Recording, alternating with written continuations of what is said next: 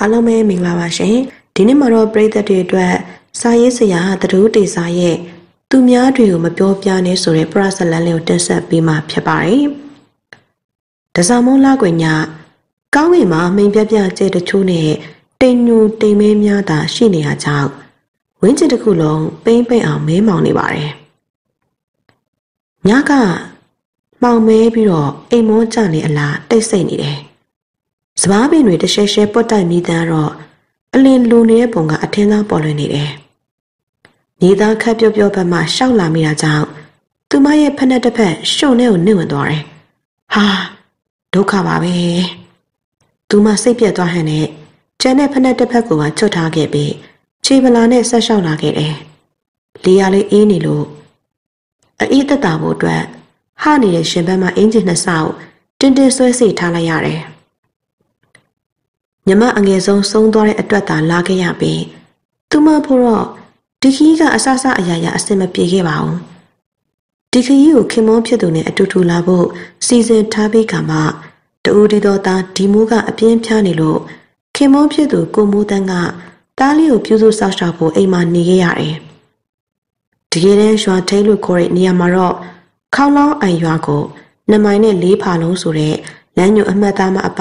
တခြားထွေထွေထူးထူးဘာမှမရှိပါဘူး။ဒါကြောင့်သူမတယောက်တည်းညမောင်ထဲမှာရှောင်းလာခဲ့ရတယ်။ပုံမှန်တိုင်းဆိုရင်တော့ရွာကိုသွားရင်ဖြတ်သွားရတဲ့ဒီလန်ခီကိုသူမတယောက်တည်းမစိုးထားနဲ့အဖေါ်ပိုင်းတော့မသွားရဘူး။အခုတော့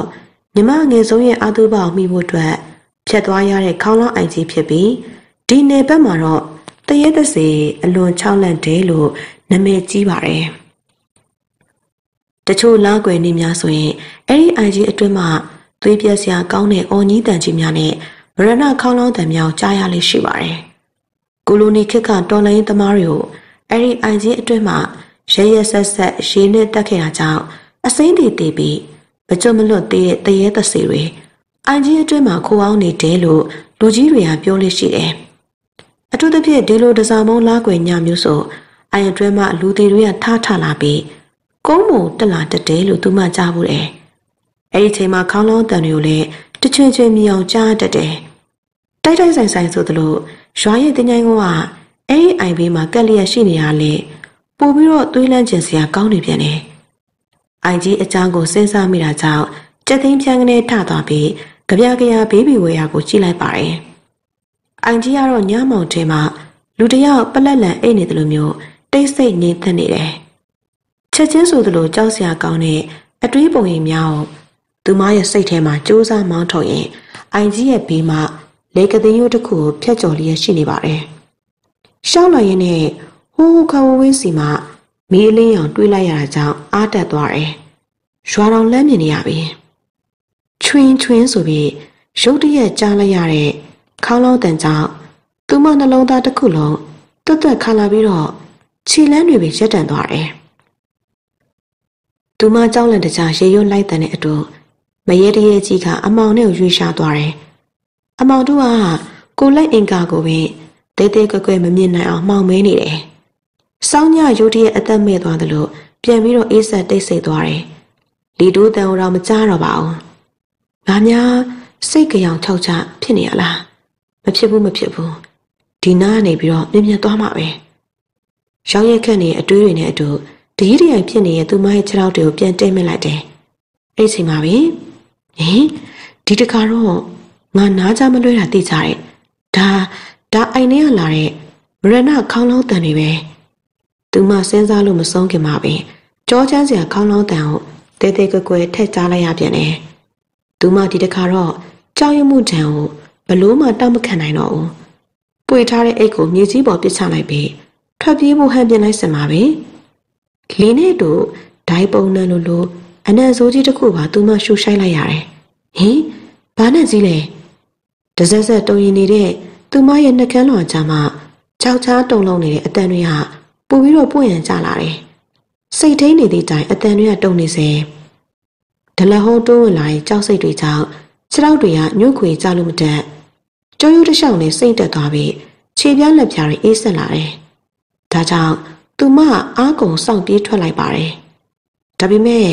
တိတ်ကြကြမပြေးလိုက်ရဘူး။ခြေထောက်တွေကပုံမှန်မဟုတ်တဲ့အေးဆက်ပြစ်ချွေးနေတဲ့အရာတစ်ခုတွေကိုနှိမ့်ဝင်သွားတယ်။အောင်မလေးကြေကြအောင်ရှင်။သူမအာကောင်ချစ်អော်နေပေမဲ့အချစ်ချစ်အငုံငေါဖြစ်နေတဲ့အတန်တွေကလေချောင်းဝမှတဲ့ထွက်မလာပါဘူး။ပဝင်းချင်တစ်ခုလုံးလဲကဲမဲသူမရှိတဲ့အပြင်တဝဝမြည်နေတဲ့လေးတိုက်တန်တွေက သူမပေါ်ဖုံးအုပ်လွှမ်းခြုံထားပါတယ်။နေဝင်နေတဲ့ခြေထောက်တွေကိုသူမလက်နဲ့ဆွဲထုတ်ဖို့ကြိုးစားလိုက်စင်ပါပဲ။သူမနောက်ကျောဘက်မှရုတ်တရက်ထွက်ပေါ်လာတဲ့ခေါင်းလုံးတန်ကြောင့်လိပ်ပြလွှင့်မတက်ထိတ်လန့်သွားပြီးနှလုံးပင်စောင့်ခုန်တက်သွားတယ်။ဟင်ဒါဒါလူသေးလောင်းတွေစီရရွှွတ်နေလား။ချက်ချင်းဆိုသလိုလေးနေရာမှာသူမကုံယုံထပြီးဒဲစီပြတ်သွားတဲ့အယူတယောက်လိုတဟုန်တိုးပြေးလိုက်ပါတော့တယ်။ ဒါပေမဲ့သူမအမောဆိုးမတက်ပြေးနေရပေမဲ့မရဏခေါင်းလောင်းတန်ကတချွင်ချွင်နဲ့လိုက်ပါကန့်ညိနေစေအဲ့ဒီချိန်မှာပဲဟင်သူမရှိမှမြင်လိုက်ရတဲ့သူကြီးပြက်ရှူးသွစေးနိုင်တဲ့အရာတစ်ခုကြောင့်ခြေထောက်တွေကဇက်ကျိုးဆွဲလိုက်သလိုတုံနဲ့ရက်သွားတယ်လူတယောက်ခေါင်းတစ်ခုလုံးကသပင်တမွေးမှမရှိတော့ပဲပြောင်ရှင်းနေပါတယ်ညနေပြောင်ချောကြီးပေါ်မှာလည်းမျက်စိပေါက်နှာခေါင်းပေါက်တို့ကတိတိကျကျ တေးကွေးပိန်လီနေတဲ့ခြေထောက်တွေကလည်းတစ်ဖက်တည်းရှိတဲ့ပြင်လက်နှစ်ဖက်ကိုလေထဲမှာတခုခုလုံးတော့မဲ့ပုံနဲ့စန့်တန်းထားတယ်။အယိုးစုလိုဖြစ်နေတဲ့ခန္ဓာကိုယ်ကြီးဟာရှေ့ကိုအနှင်းငယ်လှုပ်ရှားလာတဲ့အခါအောင်မလေးလို့သာအွန်လိုင်းနိုင်ပြီးသူမမြေပြင်ပေါ်အယုတ်ကျိုးပြက်လေးကျသွားပါရင်တကယ်တော့သူမအသက်ကိုပါသွားစေတဲ့အရာက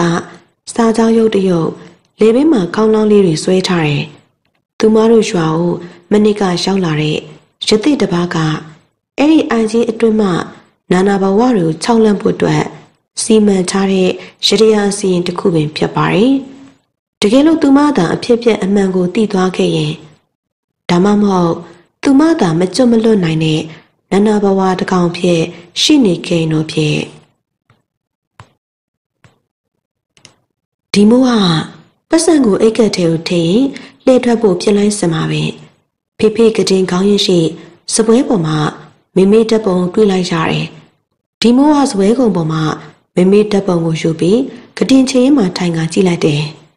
မိမိများဒီချိန်ထိအသက်ရှင်နေဘလောက်ကောင်းလိမ့်မလဲအဲ့ဒီအတွေ့ကြောင့်ဒီမိုးရှင်တစ်ခုလုံးဝမ်းနည်းစိတ်တွေကပြည့်ရှံသွားတယ်ကြည့်နေရမှာပဲမိမိနှကန်းတွေကပြုံးလာတယ်လို့ဒီမိုးစိတ်ထဲမှာထင်လိုက်မိတယ် မိမိအပြုံးတွေကနှွေးထွေးလိုက်တာဒီမိုးတက်ပုံထဲမှာမိမိမျက်နှာကိုလက်နဲ့တူထိဖို့ရွှဲလိုက်စမှာပဲဒီမိုးခနာကိုပုံအမွေးဖဖနဲ့အရာတစ်ခုဟာရုတ်တရက်ထိတွေ့လိုက်လို့လက်ပြီးတော့မိမိတက်ပုံကိုကြမ်းမြင့်ပေါ်လွှတ်ချသွားမိတယ်ဟင်ဒီမိုးချက်ချင်းဆိုသလိုဒေါသရှင်ကမြင့်တက်သွားပြီးနေရပစ္စည်းတစ်ခုနဲ့ရွှေဝါကိုကောက်ပေါက်လိုက်တယ်ရွှေဝါကနာကျင်စွာနဲ့တညောင်ညောင်អော်ပြီးတော့အခန်းပြင်ပြေးထွက်သွားပါတော့တယ် ဒီမိုးစိတ်မကောင်းခြင်းကြီးစွာနဲ့မိမိဓာတ်ပုံကိုစပွဲပေါ်တင်လိုက်ပါတယ်ဓာတ်ပုံမှန်ပေါင်လေးကတော့အစိမ့်စိမ့်အမွားမွားကွဲသွားခဲ့ပါတယ်မိမိဓာတ်ပုံကြကွဲသွားခြင်းအတွက်ဒီမိုးအရန်ဝမ်းနေသွားပြီးမိမိကိုစိတ်ထဲမှာပင်တောင်းပန်လိုက်မိတယ်အဲဒီနောက်မှန်ကွဲစားတွေကိုရှင်းလင်းပြီးဒီမိုးကခီးဆောင်အိတ်ကိုရှုကသူ့အခန်းကိုပြန်လာခဲ့ပါတော့တယ်ညနေခင်းရဲ့စီးစာပေါ်စီးလေဖြားကျနေတဲ့နေကြီးနွေးနဲ့တူ ကြီးလက်ရနန်းကတင်းနေတယ်လေပြေနုနုလေးတွေကထန်းတော်အတွင်းကိုဖော့ဖော့လေးဖြတ်တိုက်သွားတယ်။ခရီးပန်းရတဲ့ကြားတဲ့အော်ဟစ်တန်ဆုညံတန်များကြောင့်ဒီမိုးကောင်းတွေတဆစ်ဆစ်ကြိုက်လာပါတယ်။ဖိုးပိန်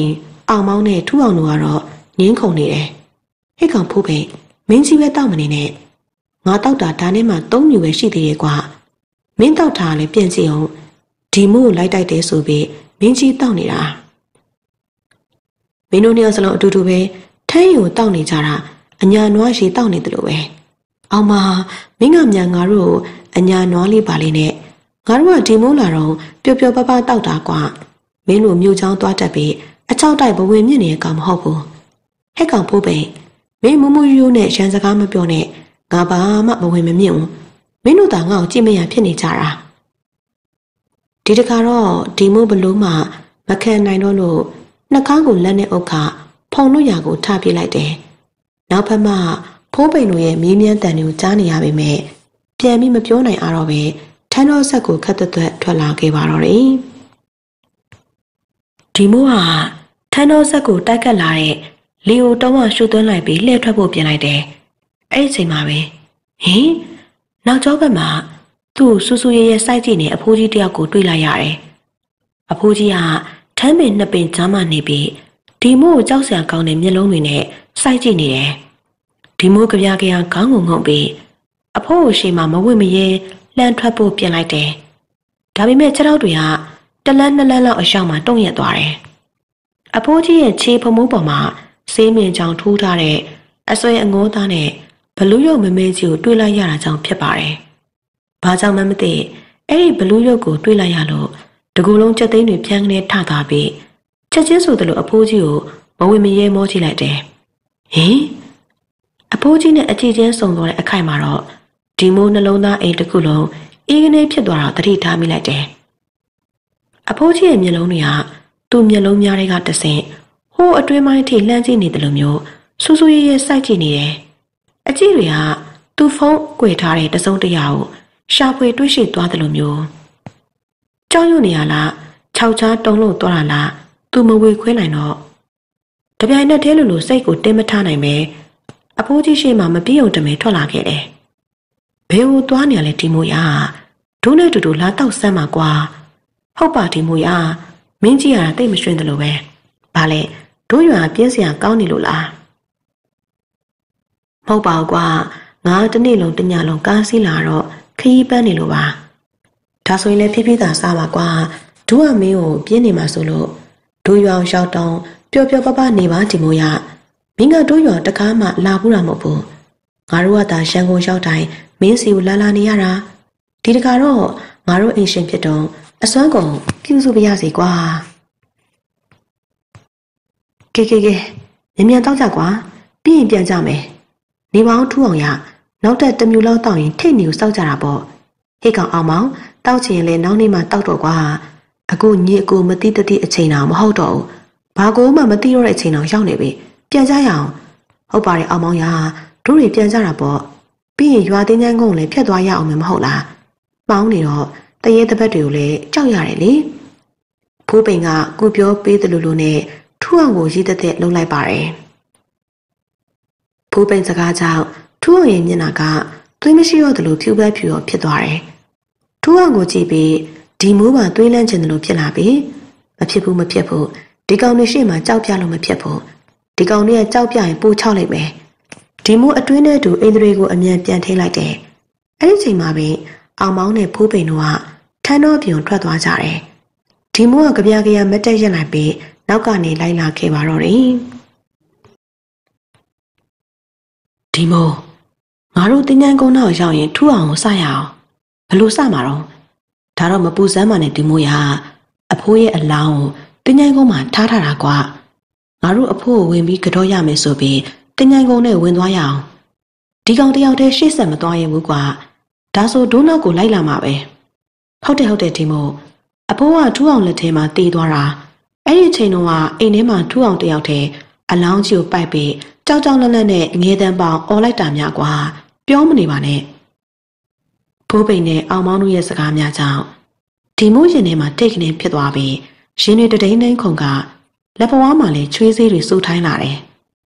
တကယ်တော့ထူအောင်ကိုစားဖို့နေနေတတ်တာသူတော်မနေအားတင်ပြီးလာနေရတာမဟုတ်ပါလားဒီကြားနဲ့ဖိုးပိန်နဲ့အောင်မောင်းတို့ကထူအောင်ကိုစောက်ဖို့အတွက်တင်ញံကုန်းလေးကိုသွားမယ်ဆိုလို့သူ့စိတ်တွေစောက်တရားမရတော့ဒီကောင်လေးကိုမစားကြဖို့ပြောရင်ကောင်းမလားဟင်းအင်းမဖြစ်သေးပါဘူးတော့ကြ ငါကြောက်နေမှန်းသိရင်ငါ့ဘာစနေမှဒါဆိုငါဘာလို့ရမလဲဒီမိုးတွေးတွေကမိခိုးလိုလွင့်နေရမှရုတ်တရက်ရက်သွားတယ်ခလလန်မှာအုတ်ကူတွေကိုမြင်လိုက်ရတာကြောင့်ဖြစ်ပါတယ်ထူအောင်ကရှေ့မှသွားနေမှချက်ချင်းဆိုသလိုနောက်ပြန်လှည့်လာပြီးလာလာကြစမ်းပါကွာဒီနမြင်မြင်သွားရအောင်ထူအောင်ရဲ့မျက်နှာပေါ်မှာမကောင်းဆိုးဝါးတကောင်နဲ့ထိတ်တိုက်တွေ့ရတော့မလို့မျိုးထိတ်လန့်ခြောက်ချားနေပုံမှာ အထင်းသားပေါ်လွင်နေပါတယ်ဖိုးပင်ကခက်တီတီနဲ့ထူအောင်ကိုပြောလိုက်တယ်ငါတို့အဖိုးကိုသွားကတော့မလို့မင်းလိုက်ပါလားဟာမသွားမသွားပါနဲ့ကွာရွာပဲတန်းပြန်ရအောင်ဟင်မင်းမအဖိုးကိုတိတ်ချစ်တာဆိုလူရှိသူရှိရောက်ရင်အဖိုးဘလူချစ်ချောင်းဘလောက်ပြုစုချောင်းနဲ့ပြောနေတယ်ကိုဖိုးသေးကြီးအခုဘလူဖြစ်တာတော့ထားလိုက်ပါဖိုးပင်ကတို့ဘာသာပဲသွားကတော့ကြတာပေါ့ကဲဒီမို့မင်းရောလိုက်ပါလားလိုက်မှာပေါ့ကွာ ငါလည်းအဖို့မကတော့ရသေးရနဲ့အတော်ပဲဒီစကားကြောင့်ထူအောင်ကကုကေရမဲ့လူဖြစ်သွားပြီးလိုက်ခေရကောင်းနုနုမလိုက်ရကောင်းနုနုတွေ့ရသွားတယ်ဖိုးပိန်နဲ့အောင်မောင်းကဒီမို့လက်တို့ကတင်ញိုင်ကုန်းဘက်ကိုဥတီထွက်သွားလိုက်တယ်ဒီမို့လဲကြပြကြရပြီးနောက်မှလိုက်သွားလိုက်တယ်ခလန်းလန်းရှောင်းမှဖိုးပိန်ကထူအောင်ကိုအော်ပြောလိုက်တယ်ထူအောင်အဖိုးကသူ့ကိုတိတ်ချစ်တဲ့သူဆိုရင်ကက်နေမှာနော်နေဝင်ဖြိုးပြချိန်မှာတင်းញန်းတစ်ခုလုံးက အိပ်ပျော်နေရလားငြိမ်သက်တိတ်ဆိတ်နေတယ်တင်းញန်းအဝယ်ဝမှာတော့ဂျိုးပင်ကြီးတစ်ပင်ရှိနေပါတယ်အဲ့ဒီအပင်ကြီးရဲ့ပင်စီကလူနှစ်ဖက်စာလောက်ရှိတယ်အကိုင်းခက်တွေလည်းတင်းញန်းပေါ်ကိုအုပ်ဆိုင်ကြနေတယ်လီတိုက်ပြီးအကိုင်းခက်တွေလှုပ်ရှားရင်းတွေသွားပုံမှာလည်းမကောင်းဆိုးဝါးကောင်တွေလက်ဝဲရန်ပြလိုက်တယ်လို့မျိုးခြောက်ချားစရာကောင်းနေပါတယ်အခေါင်အပြာရောင်စက်ကူစားတွေနဲ့ပတ်ထားပြီး တိုင်လေးတိုင်ပေါ်မှာဝကတ်ထိုးထားတင်ထားတယ်။အခေါင်ရဲ့အဖုံးကိုအနှင်းငယ်ဟားထားတာကြောင့်အလောင်းပေါ်ပန်းတွေကျဲချထားတာတွေ့ရတယ်။ကြောက်ဖယုံဒီခက်ကြီးကြီးတစ်လုံးအလောင်းပေါ်မှာတင်ထားတာမြင်ရတယ်။ဒီမိုးကမတတိစရာမြင်ကွင်းကြောင့်လက်များတွေတစ်ဆက်ဆက်တုံရင်လာတယ်။ဖိုးပိန်နဲ့အောင်မောင်းကတော့ဘာမှမဖြစ်သလိုအေးအေးလူလူပင်အလောင်းစင်နာကိုကတ်သွားတော့မြင်လိုက်ရတယ်။ဒီမိုးကဖိုးပိန်တို့နောက်ကိုလိုက်သွားဖို့ခြေလမ်းပြင်လိုက်စင်ပါပဲ သူ့ခြေထောက်တွေကလှုပ်ရှားတုံရင်နေတာကိုသတိပြုမိတယ်ကြောက်စိတ်ကြောင့်ပင်ချစ်သိန်းတွေကလည်းတပြန်းပြန်းထလာတယ်စောက်တရားမရအောင်ကြောက်လန့်နေတဲ့အခိုက်မှာပဲဒီမိုးကောင်းတဲ့အတွေ့တစ်ခုကမထင်မှတ်ပဲဖြတ်ခနေပေါ်လာတယ်မိမိအုပ်ကဒီတင်းញိုင်းနေမှာလားဒီမိုးကဘေးဘီဝဲရောက်အလင်းမြန်အကဲခတ်ကြည့်လိုက်တယ်ပျောက်ဆုံးတော့မဲ့အလင်းမုံတွေကြားမှာတင်းញိုင်းအုပ်ကူတွေကငြိမ်သက်တိတ်ဆိတ်နေတယ်တဆက်သေးလိုလိုဖိုးပိန်နဲ့အောင်မောင်းတို့က အဖိုးဦးဖိုးမြတ်ရဲ့အလောင်းကတော့နေအောင်ဒီမိုးတွေးလိုက်ရတယ်။ဒီမိုးကဖိုးပိန်နဲ့အောင်မောင်းတို့နာကိုသွားဖို့ခြေလမ်းပြလိုက်တယ်။အောင်မလေးသူ့ပကုံးပေါ်ကိုလက်အေးကြီးတစ်ဖက်ကလာရောက်ထိကင်လိုက်လို့စံမအောင်မိအောင်ထိန်းလိုက်ရင်နောက်ကိုအလန့်တကြားလှည့်ကြည့်လိုက်မိတယ်။ထူအောင်မင်းကလည်းအတန်မပေးပါမပေးနဲ့ဘာလို့မလို့လဲ။ဒီမိုးကရှရမ်းရမ်းတဲ့အတန်နဲ့ဥအောင်ဖိဟောက်လိုက်တယ်။ဒီဒီမို့လာပါကွာ မင်းနဲ့ငါနဲ့ရွာကိုအရင်ပြန်စားရအောင်ဖူးပိန်နဲ့အောင်မောင်းကငါ့ကိုကြောက်တမန်တီလို့တမင်တက်တက်စနေကြတာကွာမင်းလည်းသွားရမှာလက်နေမဟုတ်လားဒီမိုးကသူ့ပကုံးပေါ်မှာထူအောင်လက်ကိုပုတ်ချလိုက်ပြီးဘာမှမဖြစ်တဲ့အမှုရာနဲ့ဘာလက်နေဟုတ်လားငါကမင်းလိုအသက်လို့ရှောက်ကြောက်တဲ့ကောင်မဟုတ်ဘူးမင်းကရုတ်တရက်လာကိုင်းလိုက်လို့လက်ပြီးတော့អော်လိုက်မိတာပြီးတော့ငါကအခုငါမင်းအုပ်ကူသွားကတော့မလို့ မင်းဘာသာမင်းရွာကိုပြန်နေဒီမိုးကထူအောင်ရှိမှမန်တင်းကပြောလိုက်ပြီးအုပ်ကူတွေကြောင့်လမ်းလျှောက်လာခဲ့တယ်နောက်ဘက်မှထူအောင်ရဲ့မချေမချမ်းရေရွတ်နေတဲ့အောင်ကြားနေရပေမဲ့ဘာမှမဖြစ်တယ်လို့ဆက်လျှောက်လာခဲ့တယ်ဖိုးပိန်နဲ့အောင်မောင်းကဒီမိုးလာနေတာကိုမြင်တော့အလောင်းစင်ပေးမှထားပြီးဒီမိုးနောက်တိုးကပ်လာတယ်ဘာလဲဒီမိုးထူအောင်ကမင်းကိုပြန်မှုအဖော်ညှိနေရမဟုတ်လားဟုတ်တယ်ကွာဒီကောင်တော်တော်တရေဘောကြောင်တာပဲ ဟုတ်တယ်ဟုတ်တယ်ဒီကောင်ကြည့်မရဖြစ်နေတာနဲ့အတော်ပဲဒီတခါတော့တော်တော်ကြောက်သွားပြီဖိုးပင်ရဲ့အာရပါရရှိမောလိုက်တန်ကတိတ်ဆိတ်နေတဲ့တင်ញိုင်းတွင်းမှာကျင်းလောင်စွာမြည်ဟီးသွားတယ်အောင်မောင်းနဲ့ဒီမိုးကပါလိုက်ရလို့အတန်တွေပူပြီးဆူညံသွားတယ်အဲ့ဒီအခိုက်မှာပဲဘသူတွေလဲဟင်ဟိုဟိုလေကျွန်တော်တို့အဖို့လာကြတော့တာပါဘာဘာမှမဟုတ်ပါဘူးဖိုးပင်ကပျော်ပျော်ဆူဆူနဲ့ဒီမို့သွားဖို့လက်တို့လိုက်ပြီးထွက်သွားဖို့ဟန်ပြင်လိုက်တယ် ဒီမို့ကအဲ့ဒီအဖိုးကြီးကိုကြက်သေးသေးကြည့်နေရမှတတိဝင်လာပြီးဖိုးပိန်တို့နောက်ကိုခက်သက်သက်လိုက်လာခဲ့ပါတယ်ဒီမိုးကအရာရာအနေနဲ့ဖြစ်နေတဲ့ခြေထောက်တွေကိုအာတင်းလှမ်းနေရင်ကကြောင်းရွံ့စရာကောင်းနေတဲ့အဖိုးကြီးကိုစိတ်ဝင်စားသွားမိတယ်။ဘာကြောင့်မှမသိအဲ့ဒီအဖိုးကြီးရဲ့ပုံရိပ်တွေကသူ့စိတ်တစ်ခုလုံးလွှမ်းခြုံထားသလိုခံစားနေရတယ်။တပွားပွားပေါ်လာတဲ့ကြည်ကျင်စိတ်ကြောင့်ဒီမိုးလှမ်းကြည့်လိုက်တယ်။ဟင် လက်ထဲမှာဝလုံးရှည်ကြီးကိုနေပေါ်ကိုထောက်ပြီးအုပ်ကူတစ်ခုပေါ်မှာအဖိုးကြီးကစောင့်ကြောင်ထိုင်နေတယ်။လေတိုက်သွားတာကြောင့်သပင်ဖြူရီကလည်းဘေးဘက်ကိုလွင့်ဝဲသွားပြီးအပြင်ကိုပြုတ်ထွက်ကြတော့မလို့ဖြစ်နေတဲ့မျက်လုံးပြူးပြူးကြီးကိုပါတွေ့လိုက်ရတယ်။အဲ့ဒီဖိုးကြီးအကြည့်တွေကဒီမိုးနှလုံးအိတ်တစ်ခုလုံးအရှင်လက်လက်ဆွဲနှုတ်ယူလိုက်တယ်လို့မျိုးသွေးပြက်တုံလုံးစရာကောင်းနေပါတယ်။အဲ့ဒါအပေကန်ရွာသား တတင်းကြိုင်းဆောက်ဩပါလေဦးလေးအပေကန်ရွာသားဆိုတာဘာကိုပြောရလဲအပေကန်ရွာဆိုတာဦးလေးတို့ဒီခေါင်းလောင်းအိုင်ရွာနဲ့အနောက်ဘက်စိန်မိုင်လောက်ဝေးတဲ့နေရာမှာရှိတယ်ဦးလေးတို့ငယ်တော့ကကြားဘူးတာတော့အဲ့ဒီရွာသားအားလုံးလူလူကစုံးပညာကိုတက်လို့တခြားရွာကလူတွေကကြောက်လန့်ပြီးမဆက်ဆန်ကြလို့အပေကန်ရွာလို့ခေါ်ကြတာပဲဒီမိုးကဥပိုးမရဲ့ဒိုးဆက်တဲ့စကားတွေကြောင့်အလွန်မင်းစိတ်ဝင်စားသွားတယ် အထူးသဖြင့်စုံးဆိုတဲ့စကားကြောင့်သူကြည့်ဘူးတဲ့စုံးကားတွေထဲမှာစုံးတွေကိုပြေးမြင်မိလိုက်တယ်နှာခေါင်းတွေကပါဇက်ပေါက်ထဲကိုတိုးဝင်တော့မတက်ချွန်ဆိုင်ကြနေပြီးမင်းစေးတွေကလည်းခွက်ကကော့ပြန်လန့်နေတယ်ဒါဆိုရင်ဩဘာဆိုတဲ့လူကြီးကအပေကန်ရွာသားဆိုတော့စုံးတက်တွေပါရင်တက်မှာပေါ့နော်ဦးလေးအဲ့ဒီဩဘာဆိုတဲ့လူကမင်းဖိုးရဲ့တငယ်ချင်းဥအောင်ဖားညိုဆိုတဲ့လူခေါ်လာလို့ဒီရွာကိုရောက်လာပြီးတင်းကြိုင်းဆောင်လုပ်နေရပဲ စုံးတက်တွေတက်မတက်တော့ငါလည်းမသိဘူးဒီလူကရွာထဲကိုလည်းလာလေးလာထားမရှိဘူးတခါတလေမှရွာထဲကိုလာပြီးစားစရာလေးပါလေးဝယ်လေးရှိတာကွာဘီနာမှာထိုင်နေပြီးဖဲဝိုင်းနေဦးသာစိတ်ဝင်တစားကြည့်နေတဲ့ဖိုးပင်ကဒါပေမဲ့ဦးလေးဟာအဲ့ဒီဖိုးကြီးရွာထဲကိုဝင်လာရင်ဟောင်နေတဲ့ခွေးတော်ငြိမ်ကျသွားတာပဲပြီးတော့သူ့လက်ထဲမှာကင်ထားတဲ့လူသေးတွေမိတဲ့ကြိုရင်ထိုးတဲ့တဇူးဝါးကြီးကလည်းကြည့်လိုက်တာနဲ့ကြောက်စရာကြီးဗျ စတိုက်ဆိုသလိုမကြားဘူးတဲ့အကြောင်းအရာတွေကိုကြားလိုက်ရလို့ဒီမိုးစကားတော်မပြောနိုင်ပဲစွန့်အားသွားတယ်အာယုံထဲမှာလည်းဩဘာဆိုတဲ့အဖိုးကြီးကင်လာတဲ့မလုံးရှိရှိချွန်ချွန်ကြီးကိုပြင်းမြင်လိုက်မိတယ်ဟာတောင်တို့ပါလားလာကြလာကြဘာတွေစဉ်းစားနေရလဲဒီမို့ဘာဘာမှမစဉ်းစားပါဘူးငါတို့ဒီနေ့ထူအောင်ကိုစလိုက်တာဒီကောင်တော့တော်တော်မှတ်လောက်သားလောက်ရှိသွားပြီကွာဟာမှတ်လောက်သားလောက်ရှိုံနဲ့ဘယ်ဟုတ်မလဲကြောက်သေးတောင်ပါသွားတာ ဒါရင်ဘယ်ဟုတ်အောင်မလဲဒီကောင်ရွာရောက်တော့ဒေါ်လေးမငွေကိုငါတို့ကထေးမှုပြီးသူ့ကိုရန်လိုက်စတယ်လို့တွားတိုင်သေးတယ်ဒီမို့ဒီမို့ဟိုမှာထူအောင်လာနေပြီမင်းတို့ဒီနေ့ငါ့ကိုစာတော်တော်တရားလွန်နေနောက်တစ်ခါဆိုရင်ငါလုံးဝခွင့်မလွတ်တော့ဘူးအေးပါကွာထူအောင်ရနောက်ဆိုမင်းကိုမစားတော့ဘူးနော်ကဲလာလာထိုင်ထိုင်ဒါနဲ့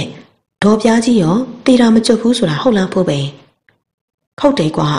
ဒေါ်ပြားကြီးကမကြွဘူးရွာထိပ်ကကိုကိုပင်ကြီးမှာအဆောင်ဖြစ်နေတယ်လို့ပြောကြတာပဲဘယ်ဘယ်လိုအဆောင်ဖြစ်တာလဲဘာလို့အဆောင်ဖြစ်တာလဲဆိုတော့ဒေါ်ပြားကြီးကအဲ့ဒီကိုကိုပင်ကြီးနာမှာတစ်လုံးတင်လာတဲ့လှဲပြီးလို့တီးသွားတာကွာအစိမ့်သေးဆိုတော့ဘယ်ကျွတ်ပါမလဲကွာတခါတော့ဆိုရွာတွေကိုလူတယောက်အခုလိုအချိန်အဲ့ဒီကိုကိုပင်ကြီးအောက်ကဖြတ်သွားတော့နမဲခေါ်တန်ကြားလိုက်ရှာနေမော့ကြည့်လိုက်တော့ဒေါ်ပြားကြီးကကိုကိုပင်ပေါ်မှာငုတ်တုတ်ကြီးထိုင်နေတာတဲ့ ပြီးတော့အဲ့ဒီလိုဒေါ်ပြားကြီးကရီးပြလိုက်တာရှာကြီးတွေကလည်းလက်တထောင်လောက်ထွက်လာတော့တာပဲအဲ့ဒီလိုလေသွေးယူသွေးတဲ့နဲ့အော်ပြီးပြေးသွားလိုက်တာတလားလောက်ကိုမနေကုယူရတယ်ဆိုပဲမျက်နာတီးတီးတသားပြတ်သွားပြီးအနည်းရှိဈေးပင်ပေါ်ရှောက်ကြည့်နေပါတယ်ဒီမူကတော့အေးဆက်လာတဲ့လက်နှစ်ဖက်နဲ့အပြန်အလှန်အဲ့ဒီလက်တွေကိုစုပ်နေရင်ဖင်တကြွားကြွားဖြစ်လာတယ် ဒီမိုးကဟန်မပြတ်ဆက်နေလိုက်ပြီးအတန်ကိုထိမ့်ပြီးဟင်မင်းတို့တရေကလည်းတိတ်လဲကြောက်စရာမကောင်းငါတွေ့ဘူးတဲ့တရေကားမှတော်ပါတော့ကွာမပြောပါနဲ့တော့ဒီညငါတယောက်တည်းအိပ်ရမှာမို့လို့ပါကွာပြီးတော့ငါသေးလဲအရန်ပေါက်ချင်နေလို့ငါနောက်ကိုတယောက်ယောက်လိုက်ခဲ့ပါလားကွာမင်းရယောက်ျားပဲကို့ဘာသာကိုတွားပါလားငါတို့ကမင်းကိုတေးပေါက်ချီးပါလိုက်ပို့တဲ့လူမှမဟုတ်ပဲအေးလေဟုတ်တာပဲ ကို့ဘာသာကိုတွားပေါ့မင်းမင်းတို့ရတယ်ရတယ်ငါဘာသာငါတယောက်တည်းပဲတွားတော့မယ်နောက်ဘေးကောက်ရုံးပုံနာမှာတေးပေါက်တာအဖိုးကမကြိုက်ဘူးနော်ချက်ချင်းဆိုသလိုထူးအောင်ကျွန်တော်တွေကအိမ်ရှိဘက်ကိုဥတီပြောင်းသွားတယ်ဒီမိုးအောင်မောင်းနဲ့ဖိုးပိန်တို့ကထူးအောင်အသေးငယ်လုံးအောင်ကြည့်ပြီးရီလိုက်ကြတယ်ထူးအောင်ဆိုတဲ့ကောင်ကတော့တကယ်ကောင်ပဲကွာတရေနဲ့များထိတ်တိုက်တွေ့ရင်အသက်တောင်ပါတော့အောင်မလားမသိဘူးဟေ့ကောင်ထူးအောင် အိမ်ဝင်ချန်တိုင်ကိုသေးနေမပန်းကောင်းမှုဆိုတာနားမလည်ဘူးလားအိမ်ဝင်ချန်တိုင်ကိုသေးနေပန်ရင်ဘာဖြစ်လို့တော့ဟာဖြစ်တာပေါ့ကွာဒိုးနေဘက်ကအယူဆကတော့အိမ်ဝင်ချန်တိုင်ကိုသေးနေပန်ရင်ပဲဖြစ်ဖြစ်တလိမ့်ဆန်တကောင်ကောင်ကပြေးခွင့်ရင်ပဲဖြစ်ဖြစ်အာသူကလှဲရောက်လာတတ်တယ်ကွာဘလို့ဘလို့အာသူကလည်းဟုတ်လားဖိုးပိန်ရဲ့ဒူးဆန်းတဲ့စကားကြောင့်ဒီမိုးကအံ့ဩတကြီးမိလိုက်တယ်ဖိုးပိန်ကချောင်းတစ်ချက်ဟန့်လိုက်ပြီး မင်းမကြားဘူးသေးဘူးဆိုရင်ပြောပြရတာပေါ့ဒီမိုးရဒီလိုကွာဟေးဟေးနတိကိုဆွဲကြစမ်းဟာဒုက္ခပါပဲကွာခင်မွန်းဖြစ်သူဦးပန်းစိန်ရဲ့အလန်တခြားအွန်လိုင်းတန်ကြောင့်မိဖို့ထဲမှာရှင်နေဦးတည်နေတဲ့ဒေါ်မေကအပေါ်တက်လာပြီးအိမ်ရှိကိုကြည့်လိုက်ပါတယ်အိမ်ရှိမှာတော့သူမတို့ရဲ့နွားနန်နီကိုခြံဝန်းတိုင်ကိုကျိုးနဲ့ပြေးခွေပါတယ်အဲ့ဒီမြင်ကွင်းကြောင့်ဒေါ်မေခမျက်နှာ ကွက်ခနေပြတ်သွားပြီးအထိတ်တလန့်ဖြစ်နေတဲ့မျက်လုံးတွေနဲ့ကြက်သေးသေးပြီးကြည့်နေပါတယ်အမြင်အာယုံထဲမှာတော့တားဖြစ်သူအောင်မိုးကနန်နီကိုနှစ်ဖားကျိုးကနေကင်ဆွဲပြီးတင်းကုတ်ထဲကိုမောင်းသွင်းသွားတာကိုမြင်ရသည့်တိုင်ဒေါ်မေခအတွက်တော့ဘာမှမထူးသလိုထင်လိုက်မိပါတယ်ဒီနွားညံကိုမကောင်းတာပါကွာအလုတ်ခိုင်းလေပိကက်ကက်နဲ့တင်းကုတ်တွေထည့်တိုင်းလေအငြင်းဦးမနေနိုင်အောင်ဒေါ်မေခတယောက် ဥပန်းစင်ကိုကြည့်ပြီးတက်ပြင်းချမိတယ်ပါဇက်ကလည်းတခုခုပြောဖို့ဟန်ပြင်းပြီးမှမပြောပြတော့ပဲမိဖို့ကြောင့်သာပြန်ဆင်းသွားလိုက်တယ်မိဖို့ကြောင့်ကိုအိမ်မကြီးပြီးမှအဖီထိုးပြီးစောက်ထားတာကြောင့်အစင်းလီကောက်ဒေါ်မေခတတိထားပြီးဆင်းနေရတယ်မိဖို့ကြောင့်နဲ့အရှောင်းမှာတော့ပောက်ပွက်စုနဲ့ရှင်တွေအိုးကိုကင်လိုက်မိတာကြောင့်သူမရဲ့လက်ချောင်းတွေကပူလောင်သွားတယ်ဒေါ်မေခပူသွားတဲ့လက်ကိုနရွက်နားကိုကတ်ထားလိုက်ပြီးတစုံတယောက်တွေးတောနေမိတယ် အခုတလောခင်မောဖြစ်သူဦးပန်းစိန်ကိုကြည့်ရတာကခွေးခွာရတော့မဲ့လူတစ်ယောက်ကိုမြင်နေရတယ်လို့မျိုးသူမစိတ်ထဲမှာခံစားနေရတယ်။သွာလာလှုပ်ရှားနေပုံကအရင်တုန်းကနေမတူတော့ပဲတမျိုးဖြစ်နေတယ်လို့စိတ်ထဲမှာထင်နေမိတယ်။ဒီကြားထဲမှာအိမ်မက်တွေကလည်းမကောင်းလို့ဥပန်းစိန်အတွက်ဒေါ်မေခစိတ်ပူနေမိတယ်။အခုလဲခြံဝင်းတိုင်ကိုနွားကပြေးကွေ့နေရလဲအတိတ်နမိတ်မကောင်း။ဒေါ်မေခအဲ့ဒီအကြောင်းတွေကိုပြန်စဉ်းစားမိလို့ရှင်မောသွားတယ်။ ဟဲ့မေခရှေ့မှာရှင်မျိုးဦးကခန်းတော်ခန်းတော်မယ်။မချဘဲနဲ့ဘာလုပ်နေရတော့။အော်အင်းအင်းမိဖို့ကြောင့်အဝမှာရှက်နေတဲ့ဦးပန်းစိန်ရဲ့အတန်ကြောင့်ဒေါ်မေခရောင်ရောင်အားနဲ့ပြန်ပြောလိုက်ပြီးရှင်လေးဦးမိဖို့ပေါ်မှာချလိုက်ပါတယ်။မေခတခါတလေမင်းမသိခင်ငါရင်သေးတာကောင်းမှာပဲလို့စဉ်းစားမိတယ်ကွာ။ဘာဖြစ်လို့တော့ဘာဖြစ်ရမှာလဲမင်းအားသူပေါ့ငါလိုက်မပို့ချင်လို့ပေါ့ကွာ။ မင်းနဲ့ငါနဲ့ကအနှစ်90လောက်အတူတူနေလာရတော့မင်းတည်သွားရင်ငါတယောက်တည်းမနေခဲ့ချင်ဘူးမေခရရှင်ကလည်းတော့ဘာစကားတွေပြောနေရလဲကျမကရောရှင့်ရဲ့အာတုဖောင်လိုက်ဖို့ချင်ပါရဲ့လားကျမအခုတလောရှင်နဲ့ပတ်သက်ပြီးအတိတ်နမိတ်တွေမကောင်းတင်စကားမပြောစမ်းပါနဲ့ရှင်ဘာအတိတ်နမိတ်တွေမကောင်းလို့လဲမေခဒီနေ့နနီချမ်းဝင်တိုင်ကိုဂျုံနဲ့ပြေးခွင့်နေတဲ့ပုံကနမိတ်မကောင်းကိုပန်းစိန် ကျမမေပြောဘူးတာကတော့ချမ်းဝင်တိုင်ကိုနွားဒါမှမဟုတ်တခြားတလိမ့်ဆန်တကောင်ကောင်ကပြေးခွေမဲဖြစ်ဖြစ်ကြိုက်ခဲ့မဲဖြစ်ဖြစ်အိမ်ရှိကိုအာသူဘလေရောက်လာပြီးအခေါင်းတစ်လုံးလာချသွားတတ်တယ်တဲ့။ဘာလဲဟာအာသူဘလေဆိုတာငါမရှင်းလို့တိတိကျကျပြောပါအောင်။အဲဒီအာသူဘလေဆိုတာတာမန်မြင်နေကြနွားနှစ်ကောင်နဲ့ဆွဲလာတဲ့လှဲမဟုတ်ပဲ နွားအနက်အကြီးကြီးတစ်ကောင်နဲ့ပဲဆွဲလာတဲ့လှဲကြီးပေါ့။လဲကိုမောင်းလာတဲ့လူကလည်းတကူလုံးအနက်ရောင်အဝတ်စားတွေဝတ်ထားပြီးလှဲပေါ်မှာလည်းအခေါင်းကြီးတစ်လုံးတင်ထားတယ်။အဲ့ဒီလှဲကြီးအိမ်ရှိရောက်လာပြီးအခေါင်းချသွားရင်တော့အခြားခံရတဲ့အိမ်ကလူတယောက်ယောက်ကတေတော့တာပဲ။ဒါဆိုအဲ့ဒီလှဲကြီးကမရဏလှဲကြီးပေါ့ဟုတ်လား။ဟုတ်တယ်အဲ့ဒီလှဲကြီးကမရဏလှဲကြီးပဲ။အိမ်ချမ်းအဝင်တိုင်တို့ခြံစည်းရိုးတို့တလိမ့်ဆန်တကောင်ကောင်ရှမ်းမှုရင်အဲ့ဒီလှဲကြီးကရောက်လာတတ်တယ်။ ကျမအဖွားတော်ကဆိုနေကင်းကြောင်တောင်ကြီးအဲ့ဒီလှဲကြီးကိုတွေ့လိုက်ရတာ။အဲ့ဒီနေ့မှာပဲအဖိုးကဆုံးသွားတာ။ဒေါ်မေက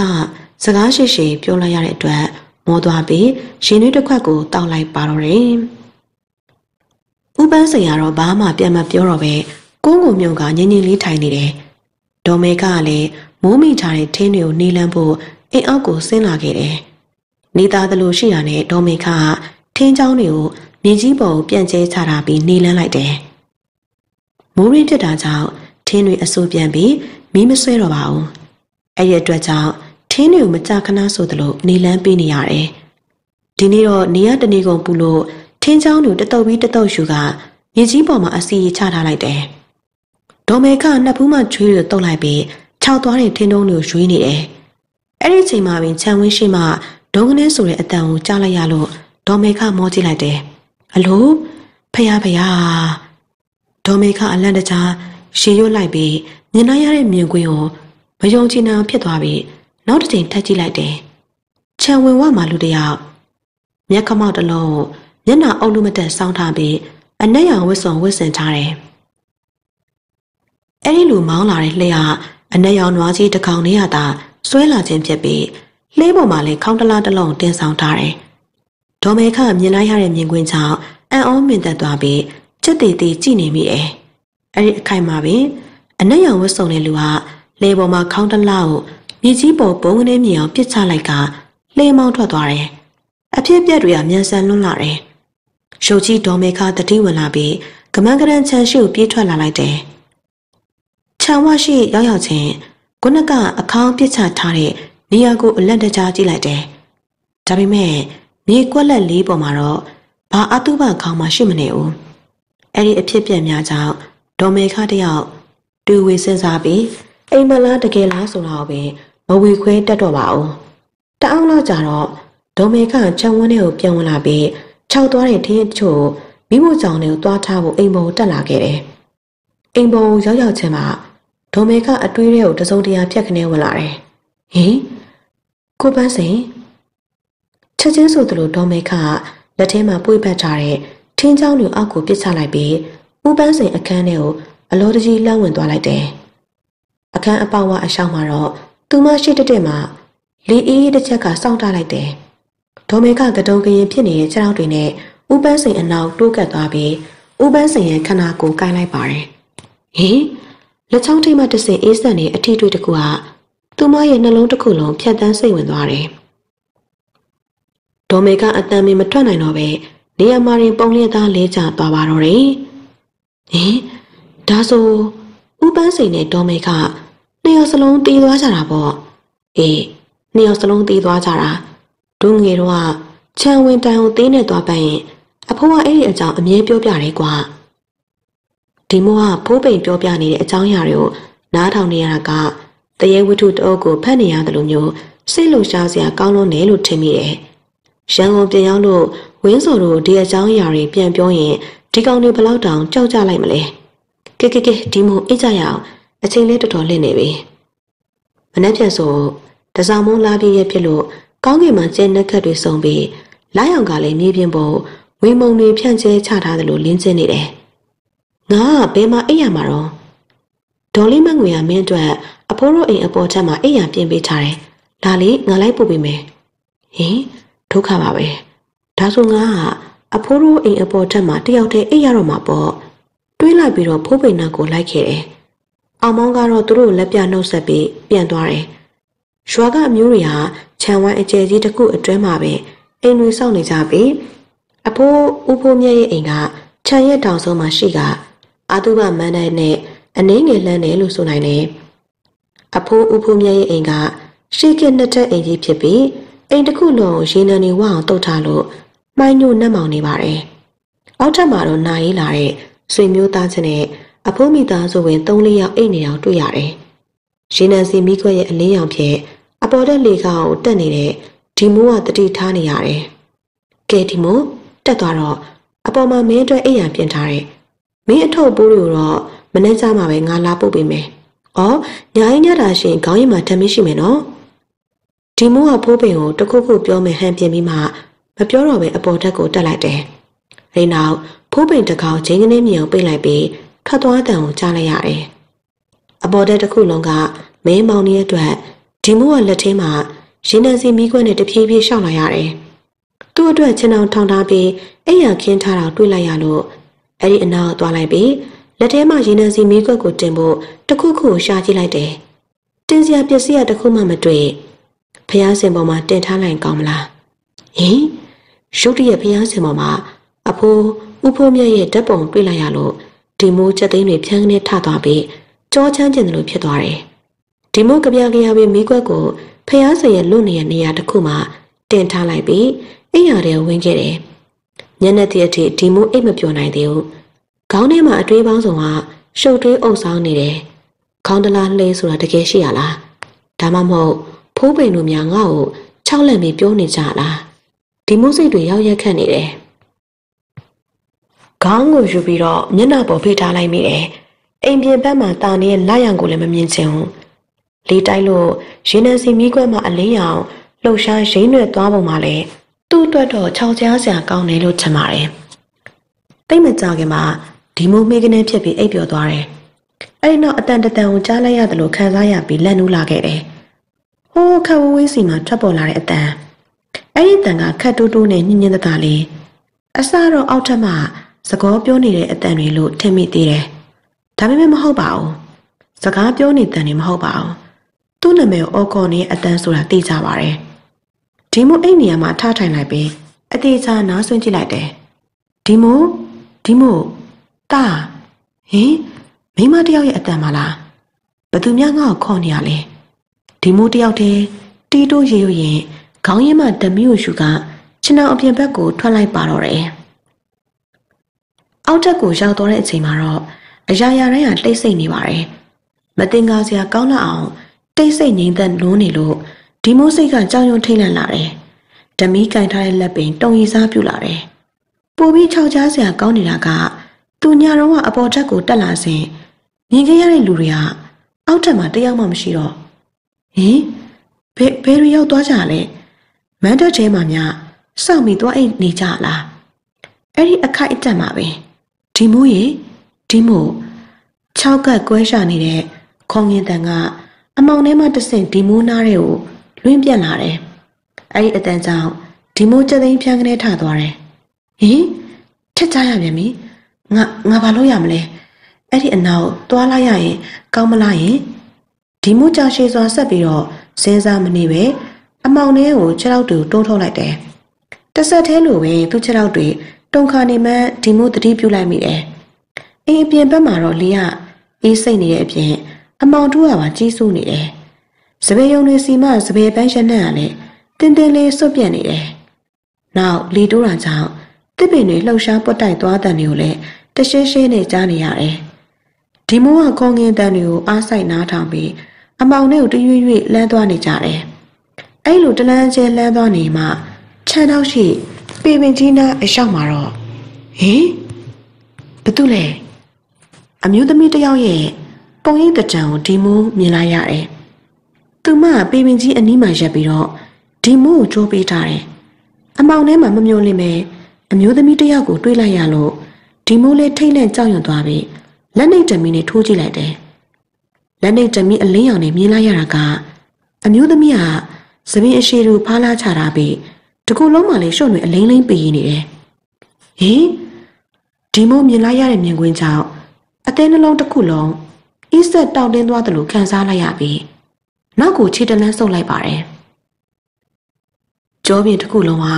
ဖြန်းကနေအေးဆက်သွားတယ်လို့ခံစားလိုက်ရတယ်။တုံခါလှုပ်ရမ်းနေတဲ့လက်နှိပ်တမီအလင်းရောင်နဲ့ ဒီမိုးကအဲ့ဒီမိန်းမကြီးကိုကြည့်လိုက်တယ်။မျက်နှာပေါ်မှာတော့ညီရဲဆူးရှာနေတဲ့မျက်လုံးတွေနဲ့အတူရှုံးဆက်တွေပါတွေ့လိုက်ရပြီးဒီမိုးချက်ချင်းဆိုသလိုအဲ့ဒီမျက်နှာကိုမှတ်မိသွားကဝမ်းနေစွာနဲ့အော်ခေါ်မိလိုက်ပါတော့တယ်။မိမိအဲ့ရပေါ်မှာတော့ဒီမိုးတကူလုံးတစ်ဆက်ဆက်တောင်ကြောက်နေမိတယ်။ဒါအိမ်မဆိုးတစ်ခုလား။မင်မင်များငါ့ကိုအိမ်မက်လာပေးတာလားဒီမိုးတွတ်တွတ်ရေရရင် နှစ်ဖူးပေါ်မှာချွေးစေးတွေဖြင့်လက်နဲ့တက်ချလိုက်ပါတယ်အခုတလောငါဘာလို့များမမေကိုအိမ်မက်တွေမက်နေရလဲခရောင်ချောက်ချားဖြစ်နေရလားအတွေးပေါင်းစုံကြောင့်ဒီမိုးခနာကိုတစ်ခုလုံးနွမ်းလျလာတယ်ဒီမိုးအဲ့ဒီအကြောင်းနေဆက်ပြီးမစင်စားချင်တော့ခဏလောက်ကြာတော့သူ့အသက်ရှူတံတွေပုံမှန်ပြန်ဖြစ်သွားပြီးအိပ်ဖို့ကြိုးစားလိုက်တယ်ဒါပေမဲ့သူ့စိတ်တွေလေးလံနေတဲ့အတွက်အိတ်မပျော်ပါဘူး နောက်ဆုံးတော့ဒီမိုးကခြေနှောင်ထဲမှာထွက်လိုက်ပြီးအပြင်ဘက်ကိုကြည့်လိုက်ပါတယ်ရေနံစီမိကွက်ကအခုထိတလှုပ်လှုပ်လင်းနေတာကိုတွေးလိုက်ရပါတယ်ဒီမိုးကစိတ်ကူးတစ်ခုရသွားပြီးအဲ့မပျော်တာနဲ့အတူတူစောင်းဖန်ကောင်းမလားအဲ့ဒီအတွေ့နဲ့အတူဘေးပတ်ဝန်းကျင်ကိုဝေးကြည့်လိုက်တယ်တပြိုင်နက်တည်းလို့လို့သူ့ရဲ့ခီးဆောင်အိတ်ကိုဖိုးပိန်တို့အိမ်မှာထားမိတဲ့အတွက်နောင်တရသွားပြီးတော့တက်ပြင်းချလိုက်မိတယ်။ ငါစောင်းတွေ့တာဒီအချိန်မှရှင်သိအသုံးဝင်မှာပဲ။ဒါပေမဲ့သူ့မျက်လုံးတွေကဖျားစင်တောင်းတနေအောင်ကြည့်မိသွားချိန်မှာတော့ဝင်းလက်တောက်ပါသွားလိပါတော့တယ်။ဖျားစင်မှာအစီတင်ထားတဲ့စောင်းပုံလေးကိုတွေ့လိုက်တယ်။စောင်းတော်တော်များများဖျားဆောင်တွေဖြစ်ပြီးဘေးရင်စောင်းတချို့လည်းတွေ့ရတယ်ဖတ်ချင်တဲ့စာအုပ်အမျိုးအစားတွေမဟုတ်တာကြောင့်ဆက်ရှာကြည့်လိုက်တယ်။နောက်ဆုံးရောက်မှာတော့ဖုံတွေအလိမ့်လိမ့်ကန့်ညိနေတဲ့ စာအုပ်အဖုံးပေါ်မှာမသိမကွဲစာတဲ့တစ်ခုကြောင့်ဒီမုံမျက်လုံးတွေပြူးကျယ်ဝိုင်းဆက်သွားတယ်။အပေကန်ရွာသားဦးအောင်ဘာညူရဲ့ကိုရဲအထုပ်ပတိဒါဒါတင်းချိုင်းဆောင်ဩဘာကိုခေါ်လာတဲ့လူပဲလို့အံဝတကြီးရေရွတ်လိုက်မိတယ်။စောင်းအဖုံးပေါ်မှာဖုံမျိုးခါထုတ်လိုက်ပြီးအဲ့ဒီစာကိုအိယာနာကိုယူပြီးတော့ဖတ်လိုက်ပါတော့တယ်။ကျုပ်နာမည်အောင်ပါညိုတယ်ဗျ။ဒါပေမဲ့ ကျုပ်နာမည်အဓိကမကြပါဘူး။ဘာဖြစ်လို့လဲဆိုတော့ကျုပ်အဓိကပြောချင်တာကကျုပ်တို့ဆရာကြီးဦးတီလာရာဆိုင်အကြောင်းကိုလာပြီးညမှာလောလောလတ်လတ်တည်ထားတဲ့အလောင်းတလောင်းဖုတ်သွင်းခဲ့တဲ့ဆရာကြီးလေမိမုံလက်တဆုပ်ကိုယူလူသေးနှစ်ဘူးမှာအင်းစမချဂါရာရှော့အုံဖွားဟဲဆိုပြီးခြေဆောက်မန်းမုံလိုက်တာအလောင်းကောင်ငေါကနေထထိုင်လာတဲ့အထိစွမ်းခဲ့တဲ့ဝိစာကြီးတယောက်ပေါ့ဆရာကြီးဦးတီလာရာစာရဲ့ပုံက အမြဲတမ်းလို့လို့တင်းမာခတ်ထန်နေတဲ့မျက်နှာစူးရှာတဲ့မျက်လုံးဂုတ်ပေါ်ဝဲကြနေတဲ့သပင်ဖြူတွေကြောင့်တာမန်လူတွေနဲ့မတူပဲချင်းသိတကောင်လာတောင်ထင်ရတယ်ခန္ဓာကိုယ်ကလည်းထွားထွားကြိုင်ကြိုင်ဒါပေမဲ့ဆရာကြီးကစိတ်ထားနှလုံးသားနူးညံ့ပျော့ပြောင်းပြီးရဲရင်တီကြီးရဲ့လူတစ်ယောက်ပါဘာသာတရားကိုလည်းအလုံးပဲကိုင်းဆိုင်ပါတယ်ကျုံနဲ့ဩဘာကဆရာကြီးရဲ့တပည့်အရင်တွင် မိုးလင်းကမိုးချုပ်ဆရာကြီးစီမှာအင်းပြတာစီးနဲ့တန်ဝိဇ္ဇာပညာတွေကိုသင်အံကြက်မှတ်လာခဲ့တဲ့သူတွေပေါ့ကျုပ်တို့ကလူငယ်တွေဆိုတော့ကျုပ်တို့ရွာသားတွေအပေါ်အထင်မြင်မှားနေတဲ့ဆက်ဆုပ်ရွှရှာပွဲအယူဆဆိုးကြီးကိုတွန်းလှန်ပစ်ချင်နေတဲ့စိတ်ကအမြဲတမ်းရှင်ထဲမှာကိန်းအောင်နေခဲ့ပါတယ်။ဒါနဲ့ကျုပ်တို့နေတဲ့ရွာကိုခေါ်တာဗါတယ်အပေကရွာတွေဟုတ်လား။ကျုပ်အဲ့ဒီနာမည်ကိုကြားတိုင်း အသေးနာလုံးလို့အာကောင်ကျိမ့်မတက်တောက်ခေါင်းမိတယ်။ကျုပ်တို့ရွာသားတွေကိုလူအစ်စ်မှထားပြီးမဆက်ဆံတဲ့လူတွေကိုအမောက်ချေပြစ်လိုက်ခြင်းနဲ့ကိုလိုနီမျက်နှာဖြူကောင်းတယ်ကျုပ်တို့တိုင်းသားအချင်းချင်းမယုံတင်ကဖြစ်ပြီးစီးလုံးလို့မရအောင်ကောလာဟာလာလွှင့်ပြီးတွေးခွဲခဲ့ကြတာကျုပ်တို့နေတဲ့ရွာကစုံးတွေဟုတ်လားတခြားရွာကလူတွေလည်းမျက်နှာဖြူနေချက်ရဲ့စကားအောင်မှယုံကြတယ်ကျုပ်တို့အမျက်တနူးတန်ဖိုးထားတဲ့ ဂမ်ဘီယာပညာကိုယွန်းတယ်လို့ကြောက်တယ်လို့အထင်မြင်သေးကြတယ်တကယ်ဆိုဒါအမျိုးဘာသာသာသနာကိုစောင့်ရှောက်နိုင်တဲ့ပညာပါဗျာလောကကြီးကမတရားဘူးဆိုတာဒါကိုပြောရလားကျုပ်တို့ရွာမှာအိမ်ကြီးအိမ်ကောင်းဆိုလို့ဖုန်ကြီးတစ်ပါးမှမရှိတဲ့ကျောင်းကိုကျောင်းပြက်ကြီးပဲရှိပါတယ်ကျုပ်တို့အိမ်တွေအားလုံးကလေးတိုင်စင်တွေအဲ့ဒီတဲမှာကျုပ်နေရတဲ့အိမ်ကလည်းအဆိုးဆုံးပဲလို့ပြောရမလားခနော်နီခနော်နေနဲ့ အခန်းချင်းလေးထဲမှာညီနှစ်ယောက်နဲ့အတူတူနေရပြီးခေါမိုးဆိုတာကနက်ခဲပညာရှင်တွေအတွက်လုံထလားသလားတောင်မှတ်ရတယ်။တိုင်ဆိုတာကတော့မခွဲမချမ်းပဲထင်းဆိုင်လို့ရတယ်။အဲ့ဒီအကြောင်းတွေကိုဆရာကြီးစီမှာရှင်ဖွင့်အမြဲကြားတတ်တဲ့ဆရာကြီးရဲ့နှစ်သိမ့်စကားတော့ဒါတို့ရဲ့ကံကြမ္မာလို့ပဲယူဆလိုက်ပါ။မင်းတို့လုပ်ရမှာကငါသင်ပေးတဲ့ပညာရက်တွေကိုကျွမ်းကျင်ပိုင်နိုင်အောင်သင်ယူဖို့ပဲ။ ကျုပ်ရဲ့ဒေါသတွေကရမ်းပုံမိချောင်းဆိုသလိုပဲဒီကနေ့မှာတော့ပောက်ကွဲထွက်ကုန်တယ်။ကျုံအန်ကျိလိုက်လို့တွတ်သွားခြင်းကပုတ်မိတဲ့အတန်ကမိုးချင်းတန်တက်တောင်ကျနေသေးတယ်။ကျုပ်တို့ဘာလုပ်ကြမလဲ။နေချင်းလက်ပါစေဂေါ်ရပလိတ်တွေနဲ့မျက်နှာဖြူတွေပြောနေကြတာကျုပ်တို့တရွာလုံးအဆုံးတွေတဲ့။အောင်မညိုမင်းမှတ်ထားဖို့ကဒီကိစ္စကိုအယူတွေပဲယုံကြလိမ့်မယ်။ပြီးတော့ကောလာဟာလားဆိုတာကြာရှည်မခံတဲ့ စကားမျိုးစားတစ်ခုပဲကွာ။ဒါပေမဲ့ဆရာကြီးရဲ့အခုလူတွေကယုံတဲ့ယုံလာကြပြီကျွန်တော်တို့ဘာလုပ်ကြမလဲဒီနေ့တခြားလဲကောလာဟာလာသတင်းစကားတွေကပြန့်နှံ့လာလိုက်ကြတာပြောမနေပါနဲ့ဒီလိုနဲ့တညမှာတော့ယူရီဆိုင်နဲ့ညတညခေါမိုးပေါ်ကမိုးထားတဲ့တက်ကဲပြစ်တွေရဲ့တပြည့်ပြည့်ထိခတ်နေတဲ့အတန်များကလည်းနားမဆန့်ဝင်ကြားနေရတယ်တကြီးကြီးမြည်ပြီးတော့ တိတ်တိတ်ခါနေတဲ့တဲအိမ်အတွင်းမှာအိတ်နေတဲ့အောင်မညိုတယောက်အဲ့ဒီအတန်တွေကြောင့်အိတ်လို့မရတော့ပဲအင်းရှိကိုထွက်ကထိုင်နေလိုက်ပါတယ်။ရာသီဥတုကခိုက်ခိုက်တုံအောင်ချမ်းနေလို့စောင်းတထေကိုခန္ဓာကိုယ်ပေါ်မှာပတ်ထားပြီးကျုပ်ကျုပ်ထိုင်နေရတယ်။အဲ့ဒီကလေတိုက်တန်နေတဲ့အတူသူ့နာမည်အွန်လိုင်းတန်ကိုကြားလိုက်ရတယ်။ဟင်ဒီချိန်ကြီးဘယ်သူပါလဲ။ခြံထဲကိုဝင်လာတော့မှမှတ်မိသွားပြီ။အောင်မညို တကူရဲတီတိုးပြောဆိုလိုက်ပြီးခြံဝါကိုကြည့်လိုက်တယ်မြူရီကြောင့်ချက်ချင်းဘသူမှမသိဘူးခြံထဲကိုဝင်လာတော့မှမှတ်မိသွားပြီဟဲ့ကောင်ဩပါဒီချိန်ကြီးဘာလာလောက်တာလဲမင်းနဲ့ချမ်းချမ်းစီးစီးကွာဩပါဆိုသူကတုတ်တုတ်ပြပြနဲ့အောင်မညူတို့အိမ်တစမ်းမြေအောက်ကိုဝင်လာပြီးအောင်မညူမင်းကိုဆရာကြီးကအရေးတကြီးခိုင်းဆရာရှိလို့ခေါ်ခိုင်းလိုက်တယ်ကွာအဝတ်စားအရွယ်ကြီးကြီးတစုံလည်းယူလာဖို့မှားလိုက်တယ် ဒီချိန်ကြီးမှာဆရာကြီးကဘာခိုင်းမလို့လဲရှူတူတူဘသူမှမသိစေနဲ့လို့ဆရာကြီးကမှားလိုက်တယ်ကွာမင်းဆရာကြီးမှားလိုက်တောင်ယူပြီးချက်ချင်းရွာထိပ်ကိုသွားလိုက်ဟိုမှာဆရာကြီးကစောင့်နေတယ်မင်းကရောဘယ်သွားမလို့လဲငါလဲဆရာကြီးခိုင်းလာတာရှိလို့တွားလိုက်အောင်မယ်ပြပြဆူဆူနဲ့ဩဘာခြံဝင်းတွင်းမှမပြေုံတမဲလှမ်းထွက်သွားပါတယ်အောင်ပါညူကဘာဆက်လို့ရမှန်းမသိတော့ပဲ ရှောင်းနှနာဖြစ်သွားပြီးတော့အတန်ကြာမှဆုံးဖြတ်ချက်တစ်ခုချလိုက်တယ်အောင်ပါညူအထုပ်တထုပ်ကိုရင်ဝင်ပိုက်ပြီးလမ်းပေါ်ထွက်လိုက်တာနဲ့တပြိုင်နက်အေးစိတ်နဲ့လေတွေကသူ့အသားကိုဓာပပလေးနဲ့လှိလိုက်တယ်လို့ဖြတ်တိုက်သွားတယ်မြူရီစားမှပဲလာပြည့်ရဲ့ဖြစ်တာကြောင့်လာရဲ့လင်းအောင်ကပြလေးလေးလင်းနေတယ်ချမ်းရင်းနေတဲ့ရာသီဥတုအောက်မှာညအချိန်မတော်ကြီးလာနေရတဲ့အတွက်ခြေလမ်းတွေခက်သက်သက်လှမ်းနေပြီးအသက်ရှူတန်လေးကျဲလောင်းလာတယ် ထိုစမှာပင်လူရိတ်တံတစ်ခုကိုမြူရီကြားမှာဝိုးတော်ဝါတွေ့လိုက်ရတယ်တတိတာဝေးတေးသေးချာချာကြည့်လိုက်တော့ဆရာကြီးဦးတီလာရာစာလက်ချင်းမှာမိအိမ်တလုံးဆွဲထားပြီးသူ့ကိုအတန်မထွက်ဖို့ဆရာကြီးကလက်ကပြလိုက်တယ်တပြိုင်နက်တည်းလိုလိုဩဘာကအမောတကောပြန်ရောက်လာပြီးတန်တရွင်းတစ်လက်ကိုယူဆောင်လာခဲ့တယ်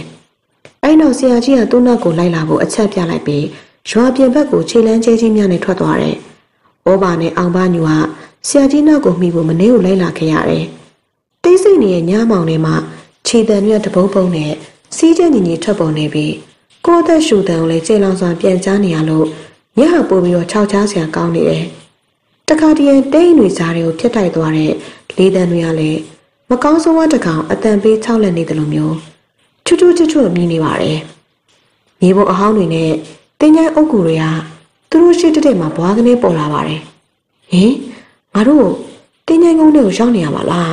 ။အောင်ပါညူကမြင်လိုက်ရတဲ့မြင်ကွင်းကြောင့်အလန့်တကြားရှည်ရွတ်လိုက်ပြီးဘေးပတ်ဝန်းကျင်ကိုတေချောင်ထက်ကြည့်လိုက်တယ်။အသေးချပဲသူတို့ရောက်နေတဲ့နေရာကတင်းချိုင်းမြေတစ်ခုချက်ချင်းဆိုသလိုခြောက်ချားစရာကောင်းတဲ့အငွေသက်တွေကခန္ဓာကိုယ်ဖုံးလွှမ်းပြီးတော့လွှမ်းခြုံသွားလို့အောင်မညူက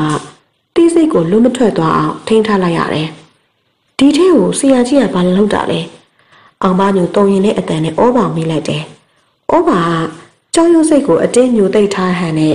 အတန်ကိုထိန်းထားရင်အလောင်းကိုဖုတ်သွင်းမလို့အောင်မညူရဲ့လက်က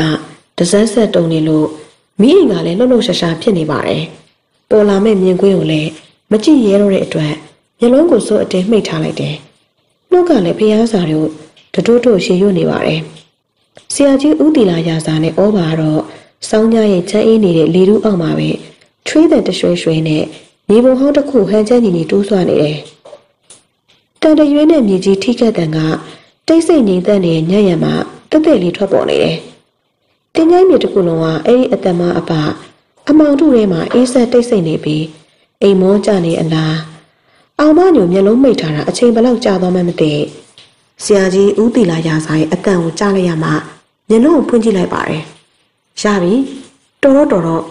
အကောင်းရဲ့ဖုံတန်တရွေးနဲ့ကော်ထုတ်လိုက်စကားတန်ဆုံးမှာတော့ဩဘာအကောင်းဖုံကိုကလော်ထုတ်လိုက်ပါတယ်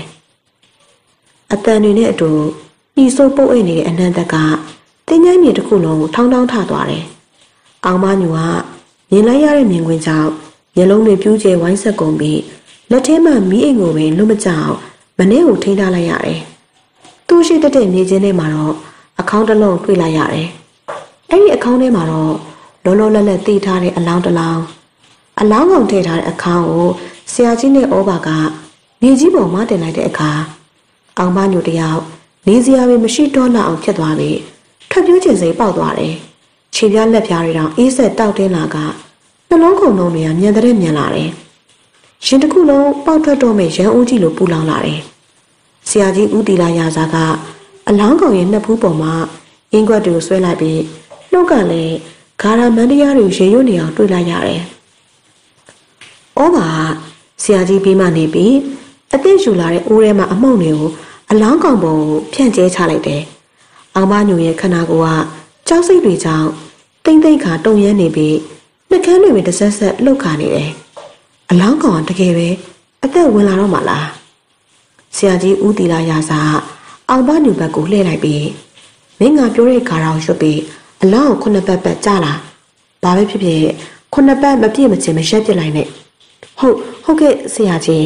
။အောင်မညူကထစ်ထစ်ငုံငုံနဲ့ပြန်ပြေးရင်ဆရာကြီးဦးတီလာရာစာတင်ပေးတဲ့ကာတော်လိုက်ရွတ်တယ်။မြို့ခွေကြားလို့မတက်ဖြစ်နေတဲ့ကြောက်တွေကိုအားတင်ရင်အလောင်းကောင်ကိုစတင်ပြီးခုနှစ်ပတ်ပတ်လိုက်ပါတယ်။နှုတ်ကလည်းကားရာတွေကိုအစမပြတ်ရွတ်ဆိုနေတယ်။အားတင်ထိန်ချုံနေတဲ့ချားမှာပဲအတန်တွေကတုံရင်နေစေအလောင်းကောင်ဘဲချိန်ထလာမလဲဆိုတော့ ထိတ်လန့်တဲ့စိတ်ကမျက်လုံးတွေကိုပြူးကျစေပြန်တယ်။တကြီးတရိုင်ဖြစ်နေတဲ့ခြေလမ်းတွေကအယောင်ယောင်အမားမာဖြစ်နေပေမဲ့ခုနှစ်ပတ်ပြည့်သွားပြီမို့အောင်မညိုရက်တက်လိုက်တယ်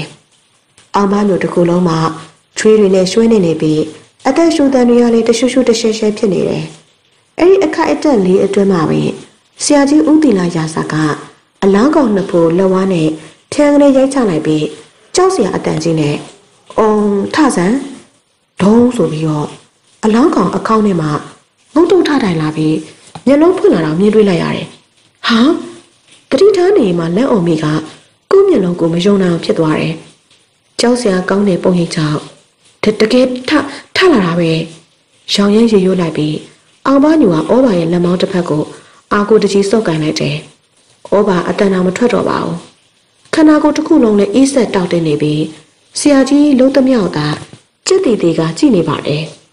။မင်းနမေကလာပါငါမေကိုအခုချိန်ကစပြီးတော့နာခံရမယ်။ဒီအင်ဂျီဝစ်ဆန်ဆရာကြီးရဲ့ဩဇာလွှမ်းမိုးနေတဲ့အမိန့်တန်ကိုကြားကြားချင်းမှာပဲအလောင်းကောင်လာဘကအခေါင်းထဲမှာထွက်လာပြီးအောင်ပန်းညူယူလာတဲ့အဝတ်စားတွေရှူဝတ်လိုက်တယ်အလောင်းကောင်ရဲ့လှုပ်ရှားမှုအလုံးကနေကွေးနေသလားညံဆန်နေသလားတော့သူမဝေခွဲတတ်တော့ဘူးမျက်နှာတစ်ခုလုံးကခန်းစားချက်မဲ့ပြီး မျက်လုံးတွေကလည်းမြတ်တော်မခတ်ပဲရှုတာတွေ့တွေ့ကြီးစိုက်ကြည့်နေပါတယ်တီးစိတ်မဲ့နေတဲ့ခန္ဓာကိုယ်နဲ့အတူလက်နှစ်ဖက်ကိုလည်းတွဲလောင်းချတာကဦးကောင်းအောင်အောက်ကိုငိုင်းဆိုင်ချနေတယ်။ဒီချိန်မှာပဲဆရာကြီးဟာ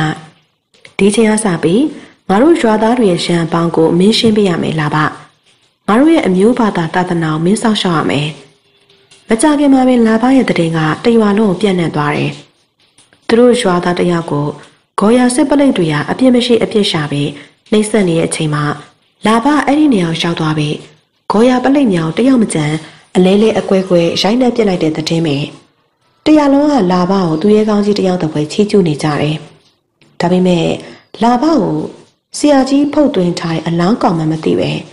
ဆရာကြီးအိမ်မှာခိုင်းမှုခေါ်ထားတဲ့လူတယောက်လို့သိထားကြတယ်အဲ့ဒီကြောင့်အောင်ပါညုံနဲ့ဩဘာနှစ်ယောက်ထဲသာသိပြီး တခြားသူမပြောဖို့လဲဆရာကြီးကမှားထားတယ်အခုဆိုရင်လာဘရွာမှာရှိနေတာတလကြော်ပြီး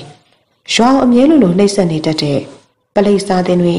ငွေတိုးချေပြီးမြန်မာမင်းမပြိုလေးတို့ဖြက်စီးတဲ့ချစ်တီးကလားတွေအားလုံးလာဘဆုံးမလွတ်လိုက်တယ်။အဲ့ဒီကာလတွင်မြေသူတဦးတယောက်ကမှသူတို့ရွာရံမစရေးကြတော့အောင်မညွာတက်ပြင်းုံချတယ်။ဒီအကြောင်းတွေပြန်စင်းစားမိကြောချမ်းခြင်းတလူလိုဖြစ်မိတယ်။ဖောက်ကောင်လာဘက မိုးလင်းတာနဲ့ဆရာကြီးအိမ်မှာထွက်သွားပြီးနေဝင်တော့မှအိမ်ကိုပြန်ရောက်လာတယ်။ထမင်းမစားရှိမတော့ဘဲနဲ့တစ်ချိန်လုံးထိုင်ကုန်တစ်လုံးပေါ်မှာထိုင်နေတာကိုကြည့်ရတာလည်းအံ့ဩစရာကောင်းလာပါတယ်။တနေ့တခြားဆိုသလိုသူတို့ရွာသားတွေကကလေးတွေကိုတက်စားနေရဆိုတဲ့သတင်းကလည်းမြို့ထိပြန့်နှံ့နေပြီးရွာလေးချုပ်ဆက်ကလူတွေကသူတို့ရွာမဆက်ဆန်ကြတော့ဘူး။ဒီမဟုတ်ကဟုတ်ကတည်င်းကိုဘသူတွေကဖန်တီးကြပါလေ။ မြမာရီရဲ့ဂမ်ဘီယာပညာစံကိုနေချင်းကကြောက်တူးတုံပြီးတမင်နမဲဖြက်အပုတ်ချဖို့ကောလာဟာလာလွှင့်နေပြီကျမရဲ့။အပြေးလွှားလာခဲ့ရတာကြောင့်အောင်မနူတယောက်မောဟိုက်ပြီးနှလုံးခုန်တန်တွေတဒိန်းဒိန်းနဲ့ကျက်လောင်လာတယ်။စိတ်ကရွာထိတ်ကိုရောက်ဖို့သာအဓိကထားနေလို့မောပန်းတော်ဂယုမဆိုင်နိုင်တော့ပဲဆက်ပြေးလာခဲ့တယ်။ရွာထိတ်ကိုရောက်တဲ့အချိန်မှာတော့ဒေါသတကြီးအော်ဟစ်နေတဲ့လူတယောက်နဲ့အတူလာပေါက်တွေ့လိုက်ရတယ်။ဖះဖះ ဘာတွေဖြစ်ကုန်တာလဲ။ဟိတ်ကောင်မင်းမလို့ငါတက်တီးချင်းကိုဆွဲချနေရလဲ။ရွက်လိုက်စမ်းဟာငါတက်တီးတော့ပျက်စီးပါပြီကွာ။လာဘတော့ဘာကူမှကြွေးမဆိုင်လှဲပေါ်မှာတတိချမ်းတို့တစ်ခုပြီးတစ်ခုယူပြီးလွတ်ပြနေတယ်လာဘပုံစံအိပ်ပျော်နေရောင်ရမ်းနေသူတယောက်ပါမှာဝိုင်းအောင်ကြည့်နေတဲ့လူအုပ်တွင်းမှာပြစ်တင်တန်တွေကလည်းကြွကြွညံ့နေပါတယ်လာဘကဘာလို့အပြစ်မဲ့ရဲ့သူရမ်းရှာတာလဲဆရာကြီးကိုသွားခေါ်ရင်ကောင်းမလား ရောက်ရက်ခန့်နေအတွေးနဲ့တူအောင်မညူကလာဘကိုကြည့်လိုက်တယ်အဲ့ဒီအချိန်မှာလူစိမ်းကတီးမခံနိုင်တော့တဲ့အတွက်ဟေ့ကောင်မင်းကမလုံနဲ့လို့ပြောနေရမရဘူးလားကဲဟာဆိုပြီးတော့လာဘနောက်ကျော်နီးရတုံနဲ့ရိုက်ချလိုက်တယ်လူအုပ်စုထဲမှာလေဟာကနေအွန်လိုင်းတန်တွေကတပြိုင်တည်းထွက်ပေါ်သွားပြီးမထင်မှတ်ထားတဲ့မြင်ကွင်းတစ်ခုလည်းမြင်လိုက်ရတယ်လာဘဒုံနဲ့ရှိုက်လိုက်တာကိုတီးပုံကြီးမပေါ်ပဲတတိလေးကိုဆွဲမောက်ပစ်လိုက်ပါတော့တယ် ချက်ချင်းဆိုသလိုလူစိမ်းရဲ့မျက်နှာကွက်ခနဲပြတ်သွားပြီးကြောက်ကြောက်လန့်လန့်နဲ့ထွက်ပြေးဖို့ပြင်မာတော့တယ်မြေကြီးပေါ်မှာတစ်တီးချင်းတွေနဲ့အတူတွေးလိုက်ရှာတာကကလေးရဲ့အလောင်းတစ်လောင်းပို့ပြီးတော့တိတိကျကျပြောရရင်နေချဲရဲ့ခိုင်းစင်မှုနဲ့ရွာကိုနမေပြအောင်လုပ်ကြံမှုအကွက်စင်ဖန်တီးတဲ့တသက်ခံပစ္စည်းအဲ့ဒီမြင်ကွင်းကြောင့်ဘေးမှာရက်ချိနေတဲ့လူတွေစီမှဒေါသတွေကစုပွက်လာပြီးလူစိမ့်စီကိုအကြည့်တွေအားလုံးရောက်သွားတယ်။လာဘက ပြေးသွားတဲ့နေချက်လက်ပါစီလူစိမ့်နောက်ကိုလိုက်သွားပြီးဂုံးမဆွဲကင်ကအနီးရှိတစ်ပင်တစ်ပင်နဲ့အားကုံဆောင်လွှဲရိုက်ပစ်လိုက်ပါတော့တယ်။ဒီဖြစ်ပျက်တွေကကျုပ်တို့ရွာမှာဖြစ်သွားခဲ့တာနှစ်တွေတောင်အတော်ကြာခဲ့ပြီ။ကျုပ်တို့ရွာမဟုတ်တန်းတရားဆွဆွဲခဲ့တဲ့လူတွေလည်းလာဘလက်ချက်နဲ့တည်ကုန်ပြီ။ကျုပ်တို့ရွာသားတွေလည်းမုန်းစရာအတိတ်ဆိုးတွေအောက်ကလွတ်မြောက်ခဲ့ပါတယ်။ဒါပေမဲ့ကျုပ်တို့ရဲ့သူရဲကောင်းကြီးလာပါအောင်တော့ဆရာကြီးဦးတီလာရာဇာက ရွာထိပ်ဘုံကြီးကျောင်းပြအောက်ကမြေတိုက်ခန်းထဲမှာထာဝရမနုအောင်အိတ်ဆက်ခိုင်းခဲ့ပါတယ်။ကျုံမှာတော့ဘုံကြီးကျောင်းပြက်ရှိကဖြတ်တိုင်းလာဘအခုချိန်ထိအိပ်ပျော်နေတော့လား။တနေ့နေ့မှများတယောက်ယောက်ကသူ့ကိုနှိုးလိုက်မလား။ဟင်ဒါဆိုအဲ့ဒီဖုတ်ကောင်ကြီးကအခုချိန်ထိရှိနေသေးတာပေါ့။ဒီမိုးကတီးတိုးရေရွတ်လိုက်ပြီးစာအုပ်ကိုလက်ထဲမှာချလိုက်ပါတယ်။ဒါပေမဲ့အတွေးတွေထဲမှာတော့ စာအုပ်အကြောင်းကိုသာအမြင်မပြတ်တွေးနေပါတယ်။ဩဘာဆိုတဲ့အဖိုးကြီးကဦးတီလာရာစာရဲ့တပည့်ဆိုတော့အလောင်းကောင်တွေဖုတ်သွင်းတတ်မှာပေါ့။ဒါကြောင့် तू ကတင်းကျိုင်းဆောင်များလုံနေရများလား။ထူးဆန်းတဲ့အဖြစ်အပျက်များကဒီမိုးစိတ်ထဲမှာဝူရဝူနှောင်ဖွဲ့လာတယ်။အာယုန်ထဲမှာလည်းအလောင်းကောင်လာပါရဲ့ပုံရိပ်တွေဆွဲထင်နေပါတယ်။ပြီးတော့ဦးတီလာရာစာငါဒါရီဘာကြောင့်များတွေးနေမိပါလဲဒီမိုးကကိုကိုကိုအလိုမကျစွာပြန်ပြောလိုက်ပြီး ခေါင်းသာခါရမ်းပြစ်လိုက်တယ်ခဏမငြိမ်တဲ့စိတ်တွေကိုငြိမ်အောင်ထိမ့်လိုက်ပါတယ်မျက်လုံးမိတ်ပြီးတော့အိတ်ဖို့ကြိုးစားပြန်တော့လေအလောင်းကောင်လာဘအကြောင်းကအတွေးလက်ဆက်ကမပြတ်သွားဘူးအဲ့ဒီအကြောင်းတွေကိုဘယ်ချိန်ထိစဉ်းစားနေမိမှမသိတော်တော်ကြာမှအိမ်ရပေါ်မှာလူရင်းလက်ရင်ကြိုးစားအိတ်လိုက်ပါတော့တယ်ဒီမိုးအိမ်မိုးကြနေတာမနဲ့စိန်နိုင်ခွဲမှာဖိုးပိန်အတင်းလာလို့လို့နိုးပါတော့တယ်။ အဲဒီနောက်ရေမိုးချိုးအသင့်ပြင်ထားတဲ့ထမင်းချမ်းနဲ့အကျော်ကိုအဝပြေးစားလိုက်ရတယ်။မနက်စာပင်ဖြစ်ပေမဲ့အိယာထားနောက်ကြတာကြောင့်နေလေစာလို့ပင်ခေါ်ရမလား။ဒီနေ့အဖိုးကိုအာတဝချမဲ့နေဖြစ်တဲ့အတွက်အလုံးရှုပ်ပြီးထမင်းစာမောင်ပူစရာမလိုတော့ဘူးလို့ဒီမူတွေးလိုက်မိပါတယ်။ဖိုးပိန်နဲ့အတူတူအာတုဘမန်တက်ဘက်ကိုရှောက်လာရင်အောင်မောင်းကိုတွေးလိုက်ရတယ်။အောင်မောင်ကဒီကနေ့မှတော့ အဝတ်စားတသက်ရက်ဝတ်ပြီးလက်ချင်းမှလည်းကြီးစီအကြီးကြီးတစ်လုံးမနိုင်မနှင်းဆွဲလာတယ်။ဒီမို့အမြင်တော့အောင်မောင်ကအမလီဒီမို့ရအခုမှပဲအိပ်ရာထားရတယ်လို့ငါမင်းကိုမနဲ့တည်းကနိုးပြီလားနိုးပြီလားမနိုးဘူးလားဆိုတာလာလာကြည့်နေတာသုံးကောက်ရှိသွားပြီ။ဘာလဲညာတော့ကောင်းကောင်းအိပ်ပျော်ရင်လား။ဘာမှတော့မဟုတ်ပါဘူးကွာ။ကြီးစီသွားငါရင်မင်းကိုရွာဦးကြောင်ခေါ်သွားမလို့ပါ။မင်းတို့ကအခုဘယ်ကိုသွားကြမလို့လဲ ဘာတော့မဟုတ်ပါဘူးအတုပမန်တဲ့ဘက်ကိုသွားမလို့ပါဒါဆိုလဲသွားနေကြပြီးရင်ငါလိုက်ခဲ့မယ်အောင်မောင်ကဒီမိုးတို့ပြောပြီးကျေးစီကိုချမ်းကအဖိုးတို့အိမ်ဘက်ကိုထွက်သွားကြတယ်ဖိုးပိန်နဲ့ဒီမိုးကတော့လူတွေစီကားရှုပ်ထွေးနေတဲ့အာတုပမန်တက်ရှိအောင်ရှောက်လာခဲ့တယ်ဟိတ်ကောင်နေမင်းတို့ဘာတွေလုပ်နေကြလဲအာတုပချဖို့ဘာမှကိုမလုပ်ကြတော့လားဒီမှာငါတယောက်တည်းငါပြောရက်ကူးလိုက်ရက်တောင်ဝင်မဲ့ကိစ္စတွေလှုပ်လိုက်နေပြိုင်းနေပြီ မင်းကဘသူကခိုင်းနေလို့လဲပင်မရင်လည်းအဖိုးနောက်သာလိုက်သွားပြီတက်တက်လုံးနားနေလိုက်ဖိုးပိန်နဲ့ဒီမိုးရဲ့ရှိတန်တွေကကျေလောင်သွားပါတော့တယ်မင်းမင်းတို့ကိုဖိုးအားသူပမှာတော့ရေးနိုင်ချသေးရဲ့နော်ထူအောင်ရဲ့ဒေါသတကြီးပြောလိုက်တဲ့စကားကြောင့်ဒီမိုးတို့ပွဲကျသွားပြီးရေးလိုက်ကြပါတယ်တကယ်တော့ထူအောင်ရဲ့စကားများသာရှိချင်းစရာမဟုတ်ပဲအမှုရာတွေပါရှိချင်းစရာကောင်းနေပြန်ပါတယ်။ဤပါကွာ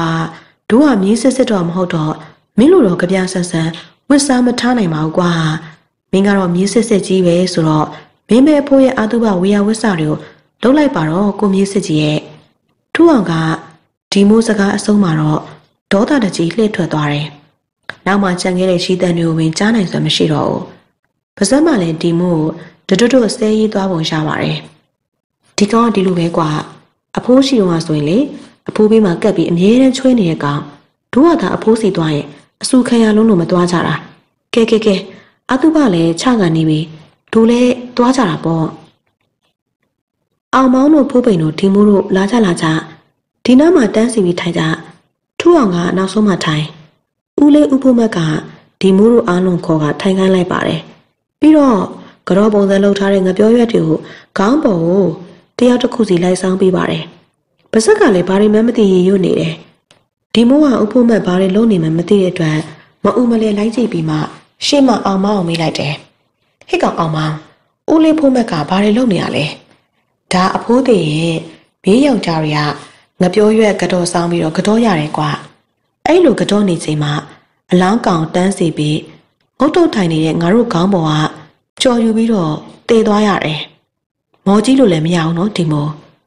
ဦးလေးဦးဖိုးမဲ့စကားကြောင့်ဒီမိုးထိတ်ကနေဖြစ်သွားမိတယ် ဟင်အလောင်းငါတို့ခေါင်းပေါ်ဖြတ်ပြီးအာသူဘချမယ်ဆိုပါလားဒီမိုးတွေးလိုက်ကခေါင်းငုံငုံထားလိုက်တယ်ရှေ့မှာဖိုးပိန်နဲ့အောင်မောင်ကလက်အုပ်ချီကကတော့နေကြတယ်ဒီမိုးကဖိုးပိန်တို့လက်အုပ်ချီရဲ့အတိုင်းလိုက်ကတော့လိုက်တယ်စိတ်ထဲမှာတော့ဘာဖြစ်မှန်းမသိအလောင်းကခေါင်းပေါ်ကြော်သွားမှတွေးကြောင်နေမိတယ်လက်အုပ်ချီထားတဲ့လက်နှစ်ဖက်တောင်အေးဆက်လာတယ်ဖះဖះအလောင်းမြင်မြန်ကြော်ပါစေဒီမိုးဆူတောင်းနေစမှာပဲသူရှိမြေပြင်ပေါ်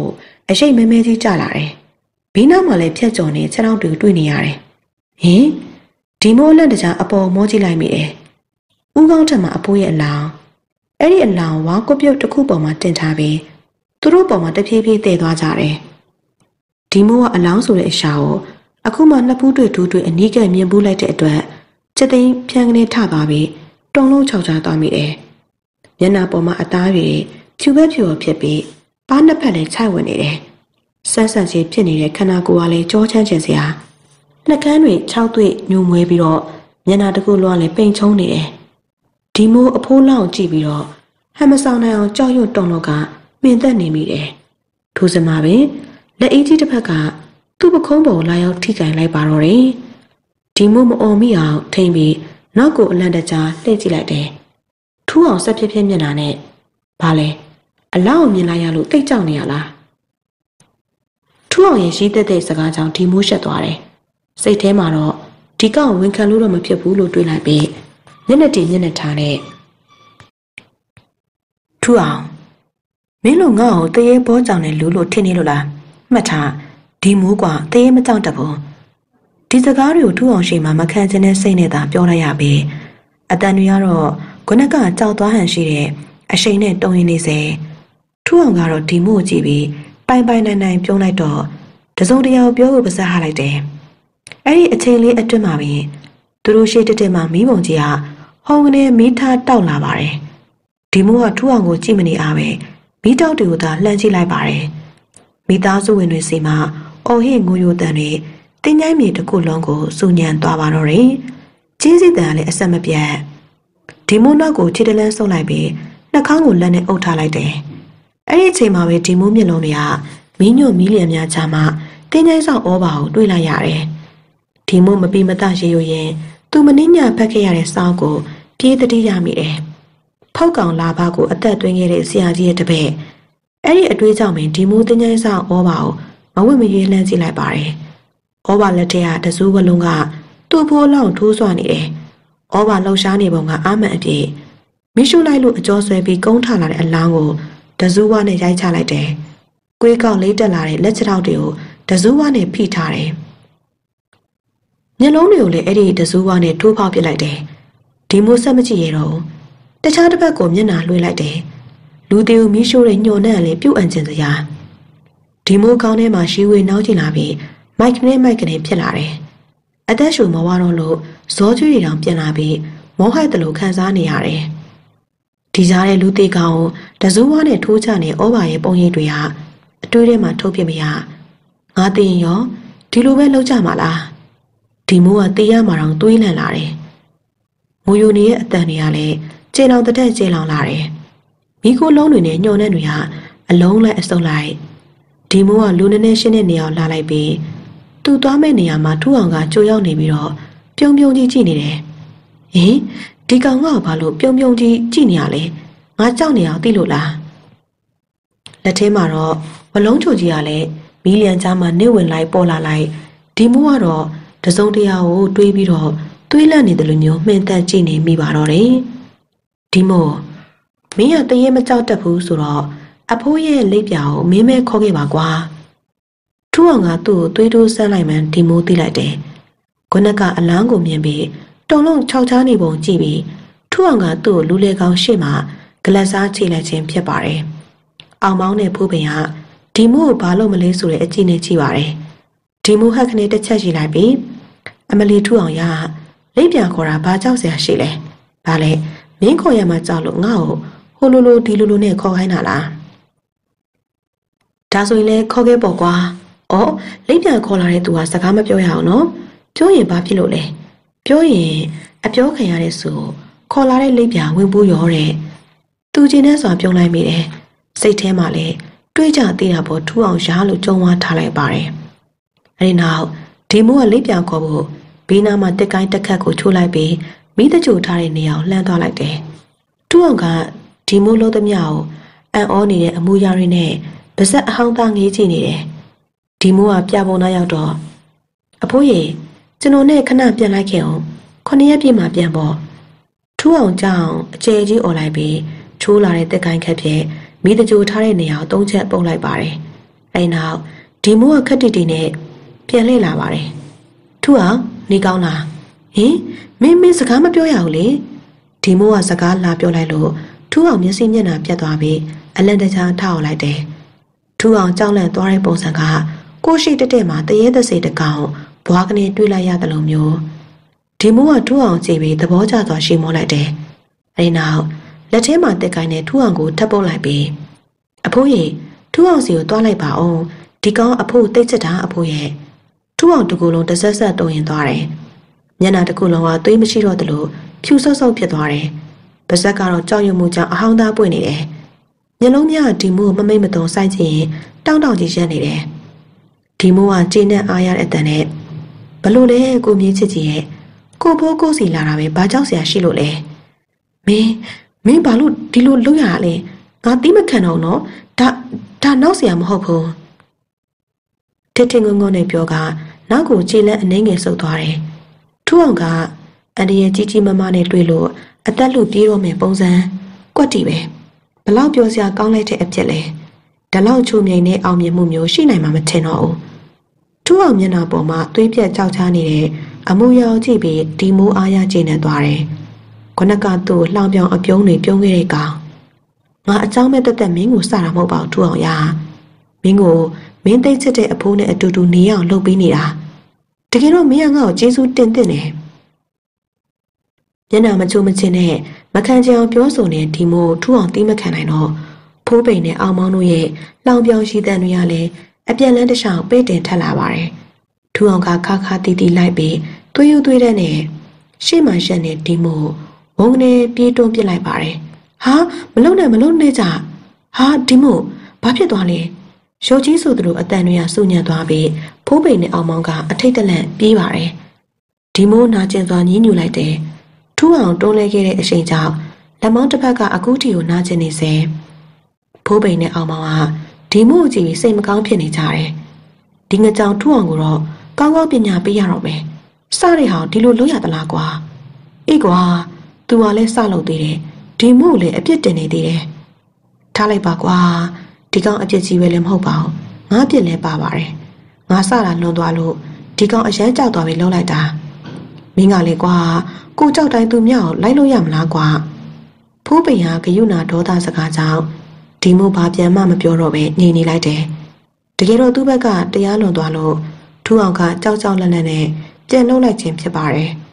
ထူအောင်ကတွန်းလိုက်လို့သူမြေကြီးပေါ်ကိုပက်လက်လန်ကျသွားပြီးလက်မောင်းတစ်ဖက်အနှင်းငယ်နာကျင်သွားရုံမှအပတခြားဘယ်နေရာမှမထိခိုက်ပါဘူးဒီလိုရံပြစ်တာကိုရွာကလူကြီးတွေသိသွားပြီးထူအောင်ကိုဝိုင်းဆူလိုက်ကြတာက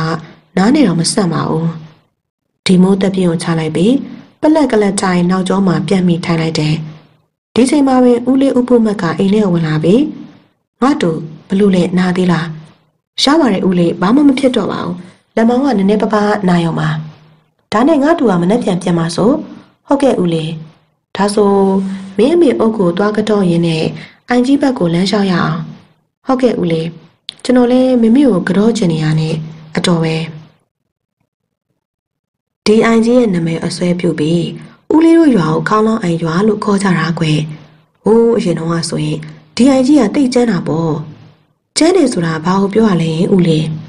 အေးကျန်းတယ်ဆိုတာကဒီเจ้าနေပြန်ပြောရရင်စိတ်မကောင်းစရာတွေလည်းအများကြီးပါပဲဒီအိုင်ကြီးကိုခေါင်းလောင်းအိုင်လို့ခေါ်ရတာအเจ้าကတော့မဟုတ်ပါဘူးအကောင်းလည်းမဟုတ်ဘူးလားပညာတွေဆိုရင် ဒီအိုင်ကြီးကဗရဏခေါင်းလောင်းတန်တွေမြည်ပြီးဆိုအန်ကြီးအတွင်းရရှည်တွေခန်းချောက်သွားပြီးလူသေးအလောင်းတွေထလာတော့ပဲဦးလေးဥပုမက်ကဝမ်းနဲ့ကြေကွဲသွားတဲ့အမှုရနဲ့စကားကိုစက်မပြောတော့ပဲအိုင်ကြီးစီကိုသာတွေ့တွေ့ကြီးငေးကြည့်နေပါတယ်အဲဒီစကားများကြောင့်ဒီမိုးဖျားခြင်းတလူလိုဖြစ်သွားမိပါတယ်အိုင်ကြီးကိုမရေတရေလှမ်းကြည့်လိုက်ပြီးကြက်သိမ်းမှပြန်ကနေထသွားတယ်ဒီနေ့လာပြညမဟုတ်ပါလားဒါဒါဆိုရင် ဒီအိုင်ကြီးကမကောင်းဆိုးဝါအိုင်ကြီးပေါ့ဒီအိုင်ကြီးစီကဘာလို့ခေါင်းလုံးတန်တွေကြားရပေလူတီတွေထလာတာလဲဦးလေးอืมဒါလည်းကိုလိုနီခေတ်တုန်းကအင်္ဂလိပ်မျက်နှာဖြူကောင်းတွေကသူတို့ကိုပုံကန်တဲ့လူတွေကိုဒီအိုင်ကြီးအတွင်းမှာရှည်နှစ်ပြီးရဲရဲဆက်ဆက်တက်ခဲ့တာကွယ်ဒါကြောင့်မို့အစိမ့်တီတီသွားခဲ့ရတဲ့နာနာဘဝတွေကပြန်ချောင်းလန့်ကြတာပေါ့ကွယ်အေး ဒီအယူအဆတွေကလည်းကြာတာတော့ကြာခဲ့ပါပြီအခုတော့ဒါတွေကပုံမြင်လို့ဖြစ်ခဲ့ပါပြီဒါပေမဲ့လည်းယုံနေကြသေးတဲ့လူတွေကတော့တနေ့တခါလာပြီးဒီအိုင်ကြီးစီမှာကြက်တို့ခွေးတို့လာပြီးတော့အိုင်စာကျွေးကြတာပဲဒီမို့နားထောင်နေငါပဲအသက်မရှူရဲတော့ခုနကနာကျင်နေတဲ့ဝေဒနာတွေကကြောက်စိတ်ကြောက်ပျောက်ကုန်ပြီလားမသိတကူလုံးလေးအေးဆက်လာသလိုခံစားရတယ်အတန်နေတော့တုံရင်လာပြီ အဲ့ဒါလို့အိုင်စာမကျွေးရင်ဘာဖြစ်တတ်လို့လဲဒါတော့ရိုးရလို့ဖြစ်နေကြတော့လှုပ်တာပေါ့ကွာမင်းရဲ့အဖွားရှိတော့ကဆိုဒီလိုပဲတစ်နှစ်တစ်ခါလာလာကျွေးတယ်ကွာอืมမကျွေးမိတဲ့တစ်နှစ်ကတော့လူလေးရဲ့အမေရွာကိုပြန်လာတော့ဒီအိုင်ကြီးရဲ့ဘေးနားမှာနှလုံးသွေးရှက်ပြီးတော့ဆုံးသွားခဲ့တာကွယ်ဘဘလို့ဦးလေးမမေကဒီအိုင်ကြီးဘေးနားမှာဆုံးသွားတာဟုတ်လားဦးလေး ဥပမကပြောပြီးမှစိတ်မကောင်းသွားဟန်နဲ့ဒီမိုးကိုဂယုဏတက်စွာကြည့်လိုက်တယ်ဒီမိုးနားထဲမှာတော့အဲ့ဒီစကားတွေကတိုင်းပုံတစ်လုံးလိုပောက်ကွဲထွက်သွားတယ်ဟင်းဟင်းမဖြစ်နိုင်ဘူးဘလို့မှမဖြစ်နိုင်ဘူးဒီမိုးရှင်တစ်ခုလုံးစိုးနှင်ကြေကွဲသွားပြီးသွေးရိုးသွေးတန်းရေရိုးလိုက်မိတယ်ဖေဖေကသူ့ဒီအကြောင်းမပြောပြခဲ့ဘူးမိမိရွာပြန်တော့နှလုံးရောဂါနဲ့အသက်ဆုံးသွားတယ်လို့သာပြောခဲ့ပြီးအာတုဘချတော့လေ ဒီမိုးကိုရန်ကုန်မှာပဲထားခဲ့တယ်အဲ့ဒီတော့ကလည်း तू ကငငယ်လေးပဲရှိသေးတယ်အပြင်းဖြားနေခဲ့တဲ့အတွက်ကြောက်လာတော့မသိဘူးဒီမိုးလှုပ်ရှားသွားတဲ့စိတ်တွေဟာဘလို့မှစူးစီးမရတော့ဖြစ်နိုင်အကျယ်ကြီးအုံကိုပြစ်လိုက်ချင်တယ်ဖေဖေကငါ့ကိုဘာလို့ဒီအကြောင်းတွေမပြောပြခဲ့တာလဲကြောက်လက်မှာစိုးလို့လားရန်ကုန်ပြန်ရောက်ရင်မိမိကိုဒီအကြောင်းပြန်မေးကြည့်ရမယ်ဒီမိုးတွေးတွေကလေပြေလေညင်းတွေနဲ့အတူ ဟိုးဝေးတနေရာစီကိုမျောလင့်သွားတယ်ကောင်းကင်မှာပြန်တန်းနေတဲ့ငှက်တွေကိုကြည့်နေပါတယ်အဲဒီနောက်သူ့စိတ်တစ်ခုလုံးဟင်းလင်းပွင့်သွားလေပါတော့တယ်အရင်ညတွေလိုမောင်မိုက်မနေပဲဝင်းကျင်တစ်ခုလုံးကလာရောက်နေလင်းနေတယ်အဲ့ဒီညမှာတော့လူငယ်တယောက်တုတ်တီးတုတ်ပြရှောက်လာတဲ့အတွက်အလင်းလူနေမှအထင်းသားပေါ်လွင်နေတယ်မကြာခဏဆိုသလိုဘေးဘီဝဲရောက်ကြောက်ကြောက်လန့်လန့်နဲ့ကြည့်နေပုံက သွေးလန့်ခြောက်ချားနေလူတယောက်လိုထူးအောင်ကြောင်ရွံ့တုံလုံးစွာလာနေရလို့ခြေထောက်တွေကလဲမလို့လို့ပြုတ်မလို့လို့ပူလောင်စည်းကပ်နေချွေးတွေကဒစိမ့်စိတ်ယူစည်းကြနေတယ်ရှင်ထဲမှာတော့ဒေါသလှိုင်းတပိုးတွေကအုံကြွရိုက်ခတ်နေတယ်။စူဝေပွက်နေတဲ့မခန့်ကျင်စိတ်ကြောင့်တောက်တစ်ချက်ခောက်လိုက်ပြီးဒီမိုးမျက်နှာကိုနာနာကြီးကြီးမြင်အောင်မိလိုက်တယ်။ဒေါသတရားလွှမ်းခြုံခြင်းခံထားရတဲ့ရင်တစ်ခုလုံးတင်းကျပ်နေတယ်။ တစ်ခုလုံးတစ်ဆက်ဆက်တုံရင်လျက်အသက်ရှူတန်ကပင်ဖားဖို့ထိုးသလိုရှူရှဲရှူရှဲမြည်လာတယ်။ငါကြောက်နေလို့မဖြစ်ဘူး။ရအောင်သွားမှာပဲ။ထူအောင်ကကိုကိုကိုတတိပေးလိုက်ပြီးခြေလန်းတွေကိုအရှိန်ထက်မြင့်လိုက်တယ်။သူခြေလန်းတွေကရွာပြင်တင်းချိုင်းစီကိုညနေခင်းကလေးကသူ့အဖိုးရဲ့အယိုးပြအုပ်ကိုတွားယူစင်မှာတင်းချိုင်းဆောင်ဩဘာကိုသူတောင်းတောင်းပန်ပန်နဲ့ပြောထားတာတခုရှိပါတယ်။အဲ့ဒီຢာတစုဟာ တစုဝါကိုအယုတ်လို့ဒီလိုကျင်းနှက်ခတ်စုံတဲ့တဆောင်မုံလာပြညမှာအသက်သွင်းလိုက်ရင်တရဲတစီတွေနနာဘဝတွေရှာမှကာကွယ်နိုင်တယ်။တင်းချိုင်းဆောင်ဩဘာကညတကောင်ရဲ့အချိန်မှာတင်းချိုင်းကုန်းနဲ့လာဖို့သူ့ကိုမှားထားတယ်။ဒါဆိုသူ့အဖိုးရဲ့ဝိညာဉ်လာရောက်ပူးကတ်မှလည်းပူးစရာမလိုတော့ဘူး။ဒီမိုးတို့တရဲတစီနဲ့ပတ်သက်ပြီးစရင်လည်းကြောက်စရာမလိုတော့ဘူး။ထူအောင်ကအတွေးနဲ့အတူခြေလန်းတွေကမြင်လာတယ်။တင်းချိုင်းနောက်ရောက်ခါနေပြီဖြစ်လို့ နှလုံးခုန်တန်တွေကမြန်သက်ထက်မြင်လာတယ်။ဒီမူအလှည့်ကျမနှွေစတန်ပေါ့ကွာလို့ခါခါတီးတီးကျုံးဝလိုက်ပြီးပြုံးလိုက်မိတယ်။အဲဒီချိန်မှာပဲသူ့ရှိသစ်ပင်တပင်နောက်မှရုတ်တရက်ပေါ်လာတဲ့လူကြီးတစ်ခုကြောင့်လန့်ပြီးတော့អော်လိုက်မိတယ်။မင်းရောက်လာပြီလား။ဒီရုပ်ကမင်းရဲ့နေနံနဲ့ကြိုက်ပြီးစီရင်ထားတာစေတမန်အယုတ်လို့ခေါ်တယ်။တခြားလူတယောက်ယောက်စီရောက်သွားရင်တန်ပြန်လိမ့်မယ်။ဒီတစူးဝါကိုမကောင်းဆိုးဝါ နာနာဘဝတရေသက်စီတွေကကြောက်ကြတယ်။ဒါကြောင့်တစူးဝါနဲ့လှုပ်ထားတဲ့စေတမန်အယုတ်ကမကောင်းဆိုးဝါတွေကိုနိုင်တာပဲ။ဒါပေမဲ့တခြားလူစီရောက်သွားမယ်ဆိုရင်တော့မဆိုင်သူကဒုက္ခတွေ့လိမ့်မယ်။ငါပြောတာကိုတိတိကျကျမှတ်ထား။ထူအောင်ကတင်းငိုင်းဆောင်ဩဘာကိုခေါင်းညွတ်အယိုးသေးပေးလိုက်ပြီးတင်းငိုင်းကုန်းထဲမှာထွက်လာခဲ့တယ်။ဒီတခါတော့ခြေလန်းတွေကဟန်ဆောင်ရဲတင်းစရာမလိုတော့ဘူး။အပီးပိုင်အာမန်အဖြစ်ရဲတင်းသွားပါတော့တယ်။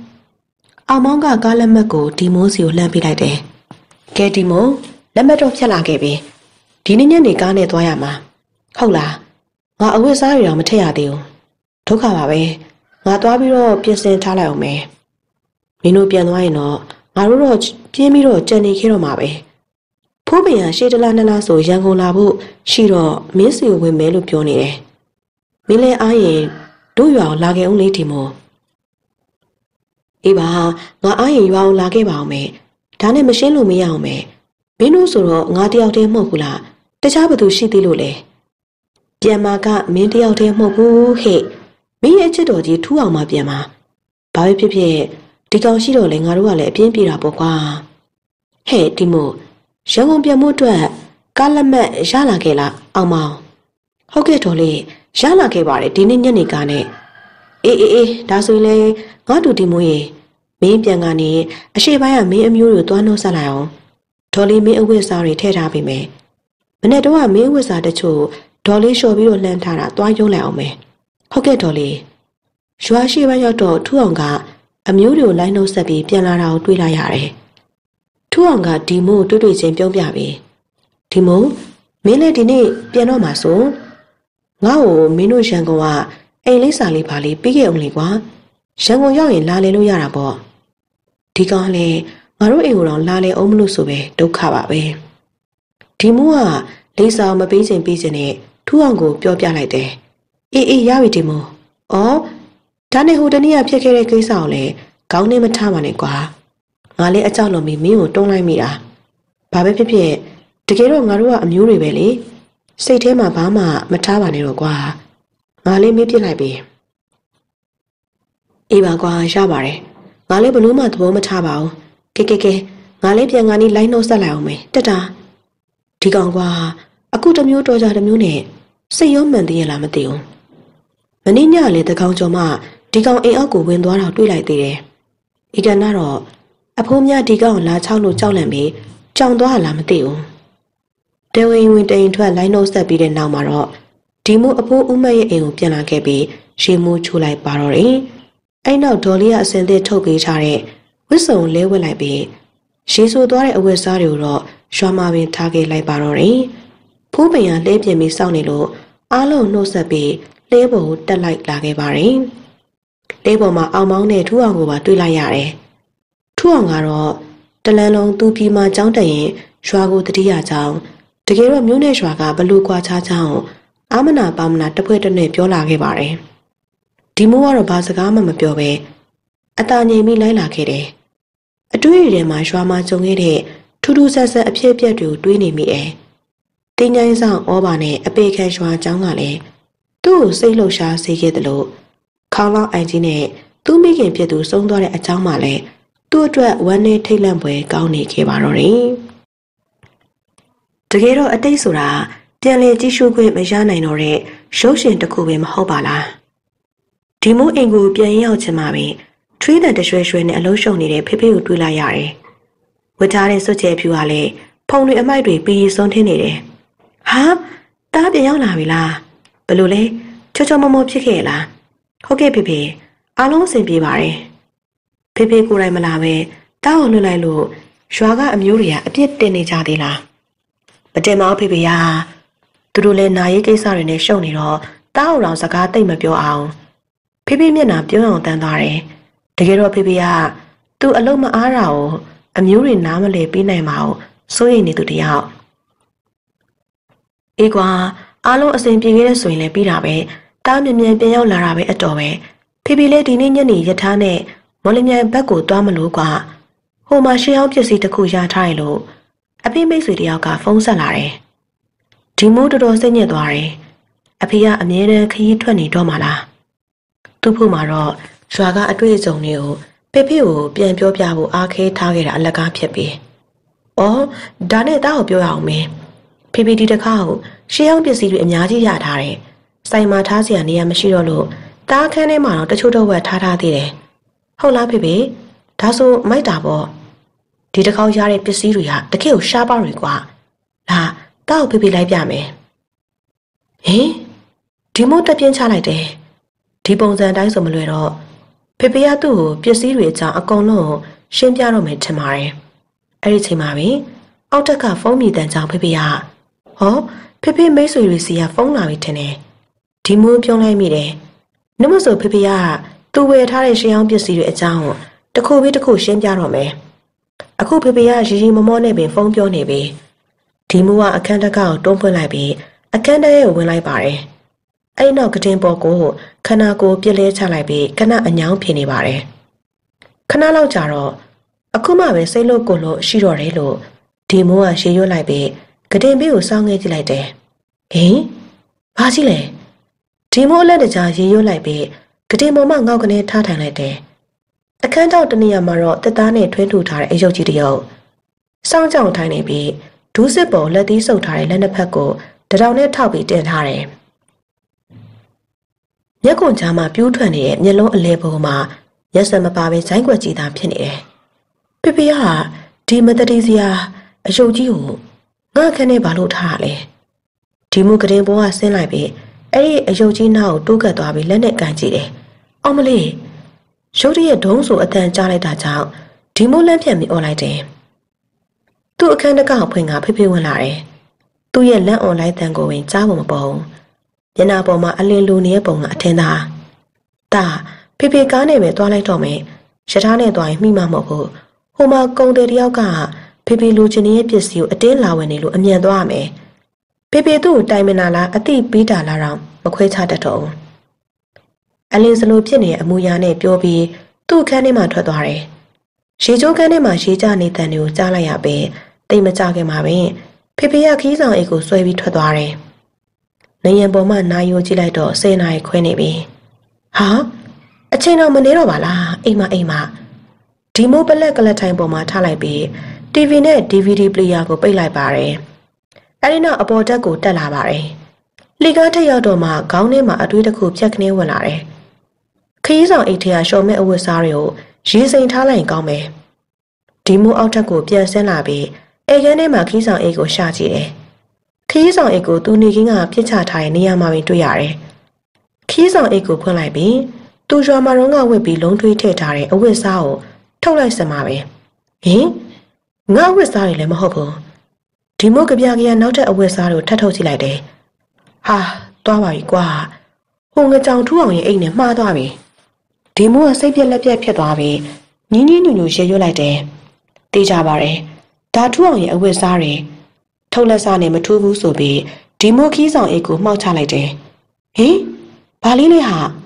ဝါးနဲ့လှုပ်ထားတဲ့အယုတ်တရုတ်အယုတ်ရဲ့ပုံသဏ္ဍာန်ကဘာပုံစံထွန်းလူထားမှမသိပဲဟိုဟာနဲ့တူတယ်လို့ဒီဟာနဲ့တူတယ်လို့ဖြစ်နေပါတယ်ဒါထူအောင်ကိုယ်တိုင်လှုပ်ထားလို့အချိုးမကျဖြစ်နေရတဲ့နဲ့အဲ့ဒီအတွင်းနဲ့ဒီမိုးကပြုံးလိုက်မိပြီးထူအောင်ကိုတတိယသွားတယ်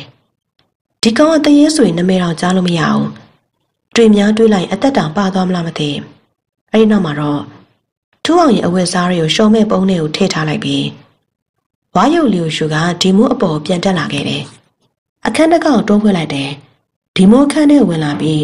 ဝါရုပ်လေးကိုစားချိစပွဲပေါ်တင်ထားလိုက်ပြီးတော့ကတင်ပေါ်တက်လိုက်တယ်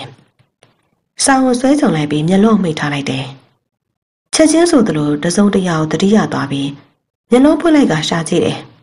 ဟင်ဒီရုပ်ချို့ငါဘယ်လိုလုပ်ရမလဲဒီမောခန်းတော့တည်းကဖေဖေယူလာတဲ့အရုပ်ကိုမြင်နိုင်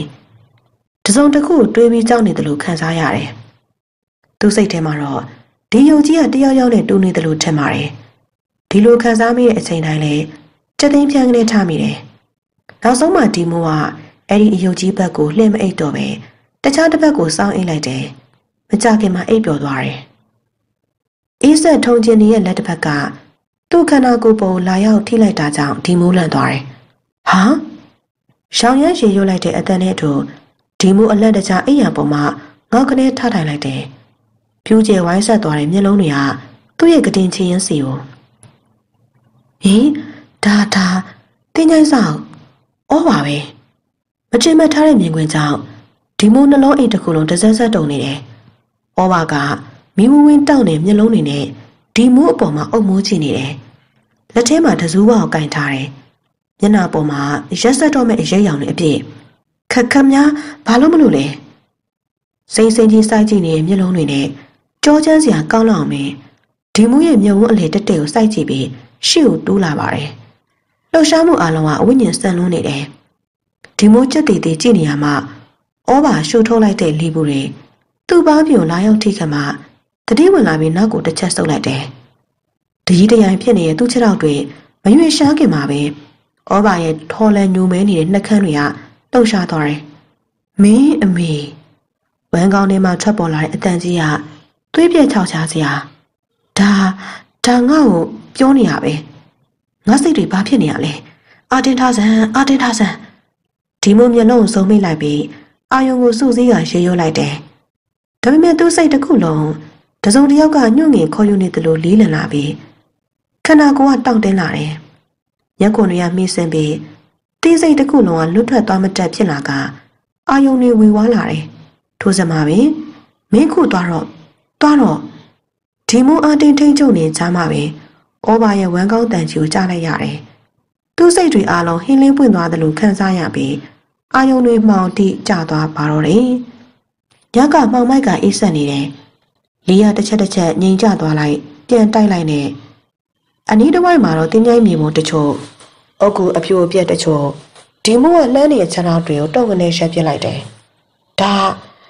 ဒါတင်းကြိုင်းကုန်းပဲ။သွေးယူသွေးတန်းရှည်ရွလိုက်ပြီးပတ်ဝန်းကျင်တစ်ခုလုံးခြောက်ခြားတုံလုံးစွာဝေးကြည့်လိုက်တယ်။မြင်ကွင်းထဲမှာတင်းကြိုင်းမြေတစ်ခုလုံးကသွေးပြက်စရာကောင်းလောက်ပဲငြိမ်သက်တိတ်ဆိတ်နေပြီးခမည်းတိုင်များကလည်းထိုးထိုးထောင်ထောင်ဖြစ်နေပါတယ်။ မြေပုံအဟောင်းတွေကလည်းမကြည့်ရဲလောက်အစီအရေငါဘာလို့ဖို့ဒီထဲကိုလာနေရတာလဲလို့ဒီမိုးတွင်းရင်းနဲ့အဖြစ်ပြက်တွေကိုပြန်ဆင်းစားကြည့်လိုက်တယ်။အာယုံထဲမှာပေါ်လာတဲ့ပုံရိပ်တွေကညံစံလုံးပြီးဖြက်ခနေဖြက်ခနေပေါ်လိုက်ပြောက်လိုက်သူဘာမှမမှတ်မိတော့သူသိတာတခုကသူ့ကိုတစုံတယောက်ကအမိန်ပေးပြီးခိုင်းစေနေတယ်။သွားရှေ့ဆက်သွား။ तू က အိပ်ပျော်ရင်လမ်းထားရှောက်နေတယ်လို့ခံစားချက်မဲ့စွာသူ့ခြေထောက်တွေကမြေပုံအဟောင်းစီကိုအုတ်ကူအပြိုပြက်တွေလူတည်မြုပ်တဲ့တွင်းတွေကညအမောင်အောက်မှာခြောက်ချားစရာငြိမ်သက်တိတ်ဆိတ်နေကြတယ်။တနေရာရောက်မှာတော့သူရှာဖွေနေတဲ့မြေပုံဟောင်းကသူ့ရှိတက်တက်မှာဘွားကနေပေါ်လာတယ်။ဒီမိုးတုံတုံရင်ရေရွတ်လိုက်ပြီးမြေပုံအဟောင်းပေးမှထိုင်ချလိုက်တယ်။တနေ့တဘိုးထမ်းလာတဲ့ကြောက်စိတ်က လိုက်တဘိုးလုံးများလို့အုံကနေထားကြလာပြီးခန္ဓာကိုယ်တစ်ခုလုံးရိုက်ခတ်လိုက်တယ်။ချွေးစည်းတွေဒလောထိုးထွက်ကြနေပြီ။နှလုံးအိမ်စီမှာတပြည့်ပြည့်မြည်တံကိုကြားရတယ်။ဒီမိုးကတစက်စက်တုံနေလက်နဲ့တင်းញိုင်းမြေပုံပုတ်လိုက်တယ်။လက်ဖြစ်၃လေးချက်လောက်ပုတ်ပြီးတဲ့အချိန်မှာတော့အဖြစ်အပျက်တွေကလင်းမြန်စွာပြောင်းလဲသွားတယ်။မြေပုံအပေါ်ဘက်မှမြေကြီးခဲတွေဖွာကနေထသွားတယ်။တစုံတစ်ယောက်မြေကြီးအတွင်းပိုင်းမှာထိုးထွက်နေတယ်လို့မျိုး အတန်တွေကလည်းကျေလောင်စွာမြည်ဟိနေတယ်။ဒီမို့အသက်ရှူရမတက်ကြောက်ရွံ့နေပြီးမြေကြီးခဲတွေဖွာကနေလွှဲစင်ထွက်တဲ့နေရာကိုလှမ်းကြည့်လိုက်တယ်။မြေကြီးထဲမှာပေါ်လာကလူသေးထည့်ထားတဲ့အခေါင်တစ်လုံးဒီမုံပေါ်လာတဲ့မြင်ကွင်းကိုမကြည့်ရဲလောက်အောင်ဖြစ်သွားပြီးတဲချင်ပြက်မတက်ကြောက်ရွံ့သွားမိတယ်။အဲ့ဒီချိန်မှာပဲမိမအလောင်းတစ်လောင်းကအခေါင်းထဲမှာကုံယုံမိထကအပေါ်တလန်းချင်းတက်လာတယ်။ ဒီမိုးကြောက်လန့်တကြားအော်ဟစ်လိုက်ပြီးပြေးထွက်ဖို့ခြေလမ်းပြလိုက်တယ်။ဒါပေမဲ့အဲ့ဒီမိမအလောင်းကတက်ရှိလူတစ်ယောက်လိုဒီမိုးနောက်တရွေ့ရွေ့တိုးကပ်လာတယ်။မလာနဲ့မလာနဲ့သွား။ဟင်အမေပဲဒီမိုးကြောက်လန့်နေအခိုက်မှာပဲအန်အောစိတ်ကြောင့်မှင်တက်သွားပြီအဲ့ဒီအလောင်းကောင်ကြက်သေးသေးကြည့်နေမိတယ်မြေဆိုင်မြေကြီးတွေကခန္ဓာကိုယ်ပေါ်မှာတပွားပွားလွှဲစင်ကြနေပြီစပင်တွေကဖားလျားချထားတဲ့ မိမလောင်းကဒီမိုးနဲ့တလန်လောက်အကွာမှာရှက်နေတယ်အဲ့ဒီနောက်ပုံနဲ့ထောင်းထောင်းထွက်နေတဲ့ပါဇက်နှစ်ဖက်ကိုဆွဲဟလိုက်ပြီးအာကောင်ထဲမှာအရှာတစ်ခုထုတ်ယူလိုက်တယ်အဲ့ဒီຢာကတော့မက်ဆေ့တစ်စီးအဲ့ဒီမက်ဆေ့ကိုလှမ်းယူမိလိုက်ချိန်မှာပဲဒီမူနာရဲ့နောက်ထပ်အမိန်ပေးတဲ့တွေတိုးဝင်လာပြန်တယ်ဒီမူတိစိတ်တွေအလုံးမှောင်တိကျသွားပြန်တယ်ဒီမူသူမျက်စိရှိမှဘွားကနေပေါ်လာတဲ့လူကို အသေးချာကြည့်လိုက်မိတယ်သူ့ဘိုးဥဖို့မြတ်တကူလုံးအနက်ရောင်ဝိယုံလွှာကြီးကိုခြုံလန်းထားပြီးမျက်နှာတည်ကြီးနဲ့ဒီမှုစိုက်ကြည့်နေတယ်မျက်တောင်မမခတ်ပါဘူးလေးကတဟူးထောင်တိုက်ခတ်လိုက်လို့ကန်းဆန်းမတက်ပင်တွေကရိမ့်ရွယ်သွားကြတယ်အဲ့ဒီတစ်ပင်ကိုတရှဲရှဲမြည်သွားတန်မှအပကန်းဆက်တစ်ခုလုံးငြိမ့်သက်တိတ်ဆိတ်နေကြတယ်။ရက်နေတဲ့လူတွေကခေါင်းကိုငိုက်ဆိုင်ချပြီးတစုံတရာစောင့်မြုံနေအလားနှုတ်ဆက်နေကြတယ်။ ဒီမို့လက်တစ်ဖက်ကိုရွေရှားလိုက်တယ်။သူ့လက်ဖွားပေါ်မှာမဆိတ်တဆိတ်ကိုတင်ကသူ့အဖို့လှမ်းပေးလိုက်တယ်။အေးဆက်နေတဲ့ဥဖိုးမျိုးရဲ့လက်တစ်ဖက်ကဒီမိုးရဲ့လက်ဖွားပေါ်အဖိုးဥဖိုးမြတ်ရဲ့လက်မှထူးဆန်းတဲ့အငွေ့သက်တွေကသူ့ခန္ဓာကိုယ်ရဲ့ကိုစီးဝင်လာတယ်လို့သူခံစားလိုက်ရတယ်။အဲဒီနောက်ဥဖို့မြက်ကဒီမိုးနာမှာထွက်ခွာသွားတယ်။အဖြစ်ပြက်အလုံးကတိတ်တဆိတ်ပင်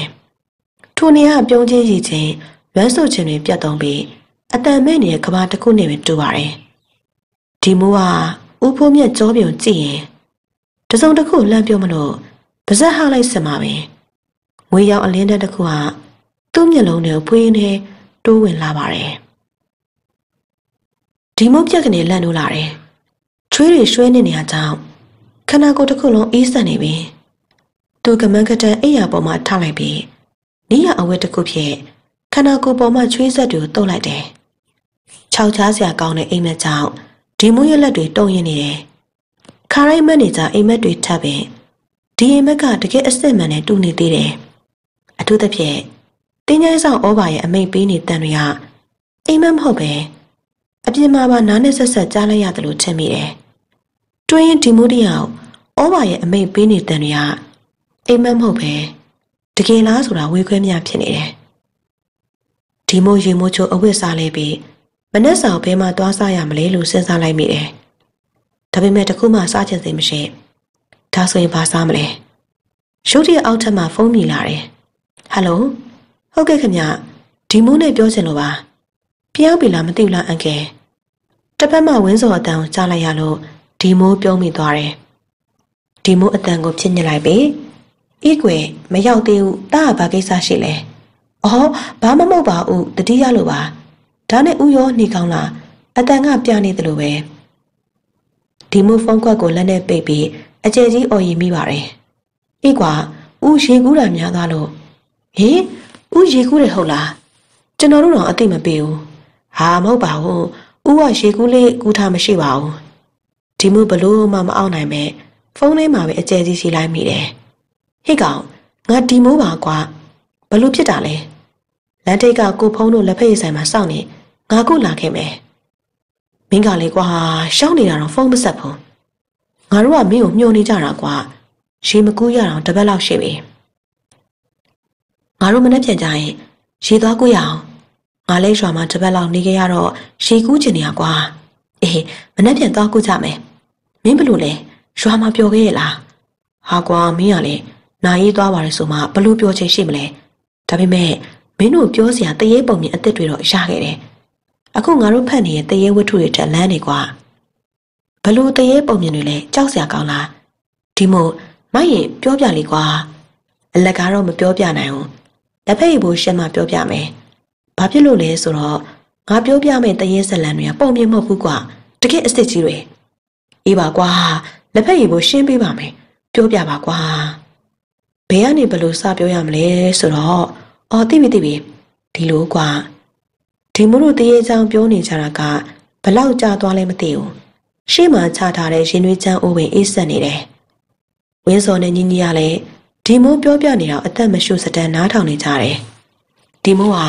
လက်ကနာယူကြည့်လိုက်ပြီနောက်နေ့မှပဲဆက်ပြောတော့မယ်ကွာဒီနေ့တော့နောက်ကျနေပြီအိမ်ပြန်တော့မယ်ဟောနေပါအောင်ကွာမင်းကလည်းမင်းဖေလည်းမရှိသေးပဲနဲ့ဆက်ပြောပါအောင်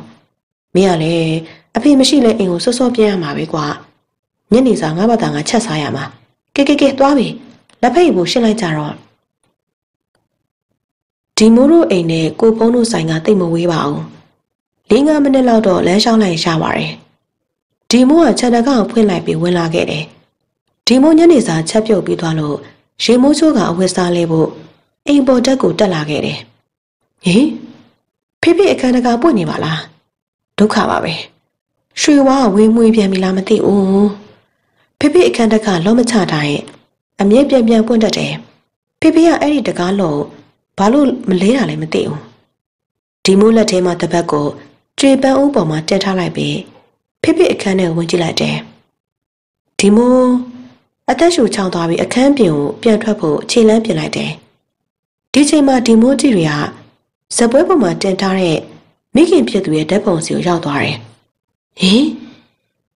ဒီမိုးအဲ့ဒီဓာတ်ပုံမြင်လိုက်ရလို့အနှင်းငယ်အံ့ဩသွားတယ်သူရွာကိုသွားကနေမိမိဓာတ်ပုံကြကွဲသွားတယ်အခုတော့ဓာတ်ပုံမှန်ပေါင်းအစ်စ်နဲ့ဒီမို့မိမိတက်ပုံတင်ထားတဲ့စပွဲနာကိုတိုးကပ်သွားလိုက်တယ်။မိမိတက်ပုံယူချိုင်းမိလိုက်တဲ့အချိန်မှာပဲသူ့စိတ်တွေရောက်ရက်ခတ်သွားတယ်။ခေါင်းနဲ့ဦးလေးဦးဖို့မဲ့ပြောပြတဲ့အကြောင်းတွေကဒီရီတွေလိုစီးဝင်လာခဲ့တယ်။ထို့စမှာပဲဟင်တက်ပုံထဲမှာပြုံးပြုံးလေးဖြစ်နေတဲ့ မိမိမျက်နှာချက်ချင်းဆိုသလိုပြောင်းလဲသွားပြီ။မင်းညသူ့အိမ်မက်ထရလို့သပင်ဖားလျားနဲ့အကောင့်ထဲမှာထွက်လာတဲ့ပုံစံဖြစ်သွားတယ်။ဒီမိုးနှလုံးသွေးရှမတက်ကြောက်ရွံ့သွားပြီးလက်ထဲမှာဓာတ်ပုံလွတ်ကျသွားတယ်။ဒီတခါတော့မှတ်မကွဲသွားဘူး။ကျမ်းမြေပေါ်မှာမမေ့ဓာတ်ပုံလေးကပြုံးလျက်သားဝင်တွေ့လိုက်ရတယ်။ဒီမိုးအသက်ကိုခက်ပြင်းပြင်းရှုလိုက်ပြီးမမေ့ဓာတ်ပုံကိုထပ်ကြည့်လိုက်တယ်။မမေ့ပုံကသူ့အိမ်မက်ထဲရလို့ရှု့တွေအလိမ့်လေးမဟုတ်ပဲ ဖြူစင်တန်ရှင်းလို့နေပါတယ်။မိမိတကယ်ပဲအိုင်စီးပေးမှဆုံးသွားလား။ဒီမိုးကောင်းထဲမှာမိကုန်းနေစီတန်းပြီးပေါ်လာတယ်။နောက်ဆုံးဖေဖေလာမမေးတော့မယ်လို့ဆုံးဖြတ်လိုက်ပြီးအခန်းပြုံထွက်လာခဲ့တယ်။ဟင်အစုပ်ပလုတ်ကြောင့်အခုမှပဲတွေ့လိုက်တော့တယ်။ရေရွတ်ပြီးတော့ရွှေဝါကိုဖမ်းဖို့အနောက်တိုးကပ်သွားတယ်။ထူးဆန်းတာကအကြောင်ကလေးရွှေဝါကသူ့ကိုအနောက်အကက်မခံပဲလက်ကနေလက်ကနေထွက်ပြေးနေတယ်။ ခါတိုင်းဆိုရင်ဖမ်းစရာမလိုဘူး။ကြောင်လေးရွှေဝါရဲ့ထူးဆန်းတဲ့အပြုတ်မှုတွေကြောင့်ဒီမိုးအံ့အားတင်သွားမိတယ်။ငါမြရွာကိုခုနှစ်ရက်လောက်သွားလိုက်တော့မမမီတော့တာလား။ဒါလည်းမဟုတ်နိုင်ဘူး။တလိဆန်ဆိုတာဒီလောက်ရှက်နေနေတော့ကိုတခင်ကိုမမေ့နိုင်။ဒါဆိုရင်ဘာဖြစ်နေရလဲ။ဒီမိုးဆက်မစဲစားချင်တော့အခုတလောသူကြုံနေရတာကအသက်ဆန်းကြီးတာဖြစ်နေပြီ။ဘာမှလည်းသူအခြေလည်းမစဲစားနိုင်တော့ အဝတ်စားလဲဖို့သာအခန်းထဲကိုဝင်လာခဲ့တယ်အိရှိမလူခေါ်ဘဲတန်အဆက်မပြတ်နီးနေလို့ဒီမိုးအိယာမှာလူးလဲထကအောက်ထက်ကိုဆင်းလာခဲ့တယ်ချန်ရှိမှဝင်းစော်တော့ဟာကွာမင်းတို့ကလည်းအစောကြီးရှိသေးတယ်ဘာလို့ကြမလို့လဲအမေကိုတော့နိုင်ယူလေးပြန်ကြည့်ပါအောင်ရှစ်နိုင်ခွဲနေပြီမနေ့ကမင်းမဲရေးသွားကုမယ်ဆိုလို့ငါတို့ကလာခေါ်ရတာမလိုက်ချင်လဲနေ sorry ကွာငါမေ့သွားလို့ ညတော့ကလည်းအိမ်မက်တွေမက်ပြီးကောင်းကောင်းအိမ်မပြောရနဲ့နေမြင့်သွားတယ်ကွာဟင်အိမ်ထဲဝင်ထိုင်ကြလေဘယ်ကစောင့်နေမလို့လဲဒီကောင်ညာတော့ကောင်းကောင်းမအိပ်ရလို့ကြောင်သွားပြီထင်တယ်ငါတို့ကမင်းအိမ်နေရမဆောင်လို့ဘယ်နှဆောက်ရမှာလဲဒီချန်ရှိကများမင်းကိုရက်ဆောင်နေမယ်ထင်လို့လားအော်အေးအေးဒါဆိုလဲလာချာသူရေချိုးကန်းထဲမှာထွက်လာချိန်မှာတော့ငနေသားသုံးကောင်ကပိုင်စုပိုင်နဲ့တ TV ဂိမ်းကိုစော့နေကြတယ် သူထွက်လာတာမမြင်ဘူး TV ဂိမ်းကိုသာအငမ်းမရစော့နေကြတယ်တပ်ပြင်းချလိုက်ပြီးအဝတ်စားလေးဖို့ပြင်ဆင်လိုက်တယ်ကဲကဲစမယ်နော်1နှစ်3ဝင်းစောကရေကူးကံပေါင်ပေါ်မှာနေပြီးဒီမိုးတို့ရှင်ကိုပြန်နေတာကိုအချိန်မှတ်လိုက်ပါတယ်အကြဆုံးငုံနိုင်တဲ့လူကကြိုက်တာစားခြင်းဝင်းစောကရေကူးကံပေါင်ကနေပြီးရေထဲကိုငုံကြည့်လိုက်တယ်ရေရဲ့ကြည်လင်မှုကြောင့်ကောင်းမြတ်နှကောင်း လက်နဲ့ပိတ်ပြီးရေငုံနေရမြင်ရတယ်ပြီးတော့ညီညီနောက်တစ်ယောက်ဒီဒီဒီမိုးဟင်ဒီကောင်ဘေးနားသွားပြီးငုံနေပါလေသူ့ရှိမှရေထဲဒိုင်မန်ထိုးဆင်းသွားတာမြင်လိုက်ရတာပါအခုဘယ်ရောက်သွားပါလဲဝင်းစောရေကူးကန်တရှောင်လိုက်ရှာကြည့်တယ်ဒီမို့သူဒီတစ်ခေါက်ရင်ငုတ်သွားဒီမှာတက်တောင့်တက်တာရှိလာတယ်လို့ထင်မိတယ်အသက်အောက်ထားပေမဲ့လည်းတိတ်မမောသလိုပဲနားထဲမှာလည်းခါတိုင်းကြနေကြတဝူးဝူးအတန်တွေမကြားရပါဘူး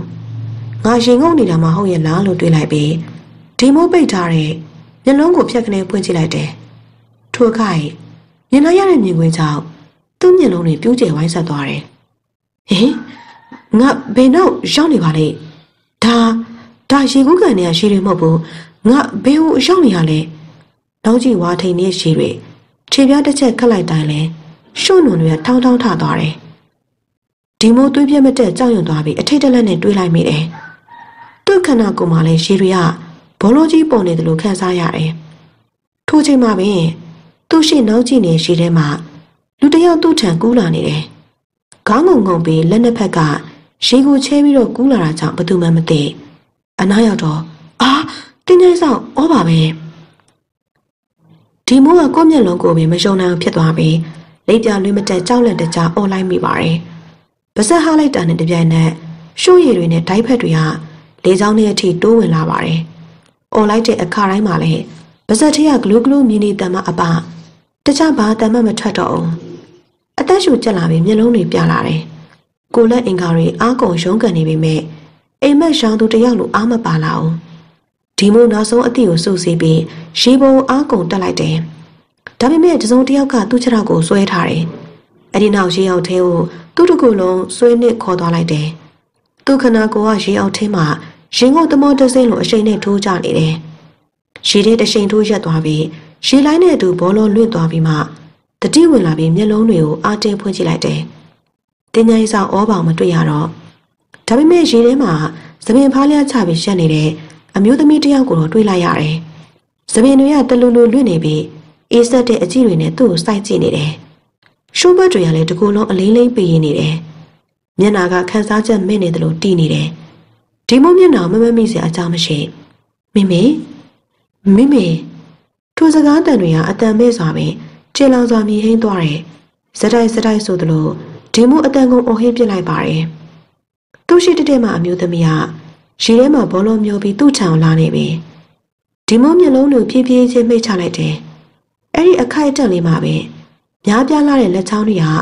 သူ့ခန္ဓာကိုယ်ပွေ့ဖက်ချုံနှောင်လိုက်ကြတယ် ကြောကုန်ပြီးလိုက်တဲ့အချိန်ကြောင့်ကြို့ထိုးသွားပြီးထိုးအန်ချလိုက်တယ်ဝမ်းပိုက်တဲ့ရှည်တွေကလေချောင်းထဲမှာတဆင်အပြုံထွက်ကြလာတယ်ဟဲ့ကလေးတို့လူနာပက်လက်ပြန်လန်ထားအသက်ကိုခက်ပြင်းပြင်းရှုခိုင်း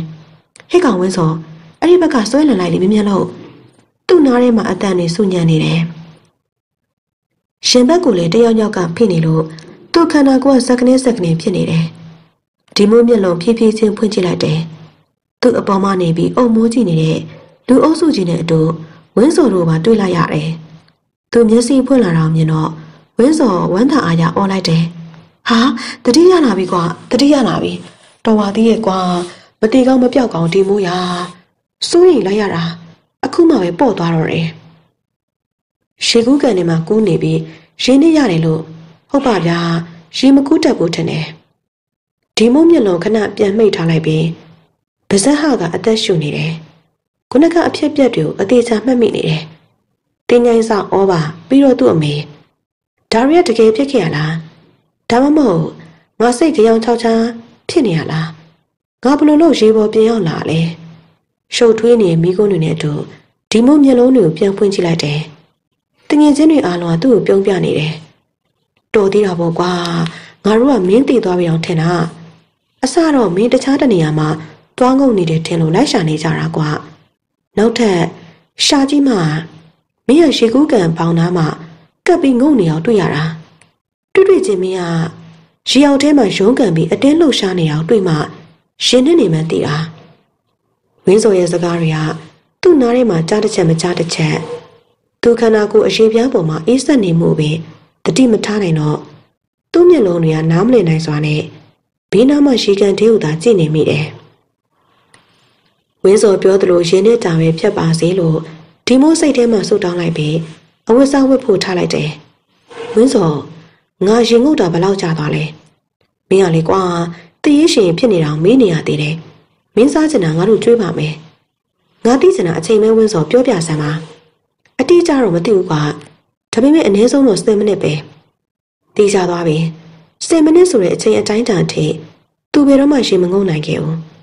ထိုချိန်ကသူငုံနိုင်တဲ့ပမာဏထက်စေစနီးနီးကျော်လွန်နေပြီပုံမှန်တိုင်းဆိုသူဘလို့မှငုံနိုင်စရာအကြောင်းမရှိဘူးသူနှလုံးအိမ်စီမှာတဆစ်စစ်နေတယ်အောင်နားနဲ့ဆက်ဆက်ပြန်ကြားလိုက်ရတယ်စိတ်တစ်ခုလုံးကလွင့်စင်ထွက်သွားပြီ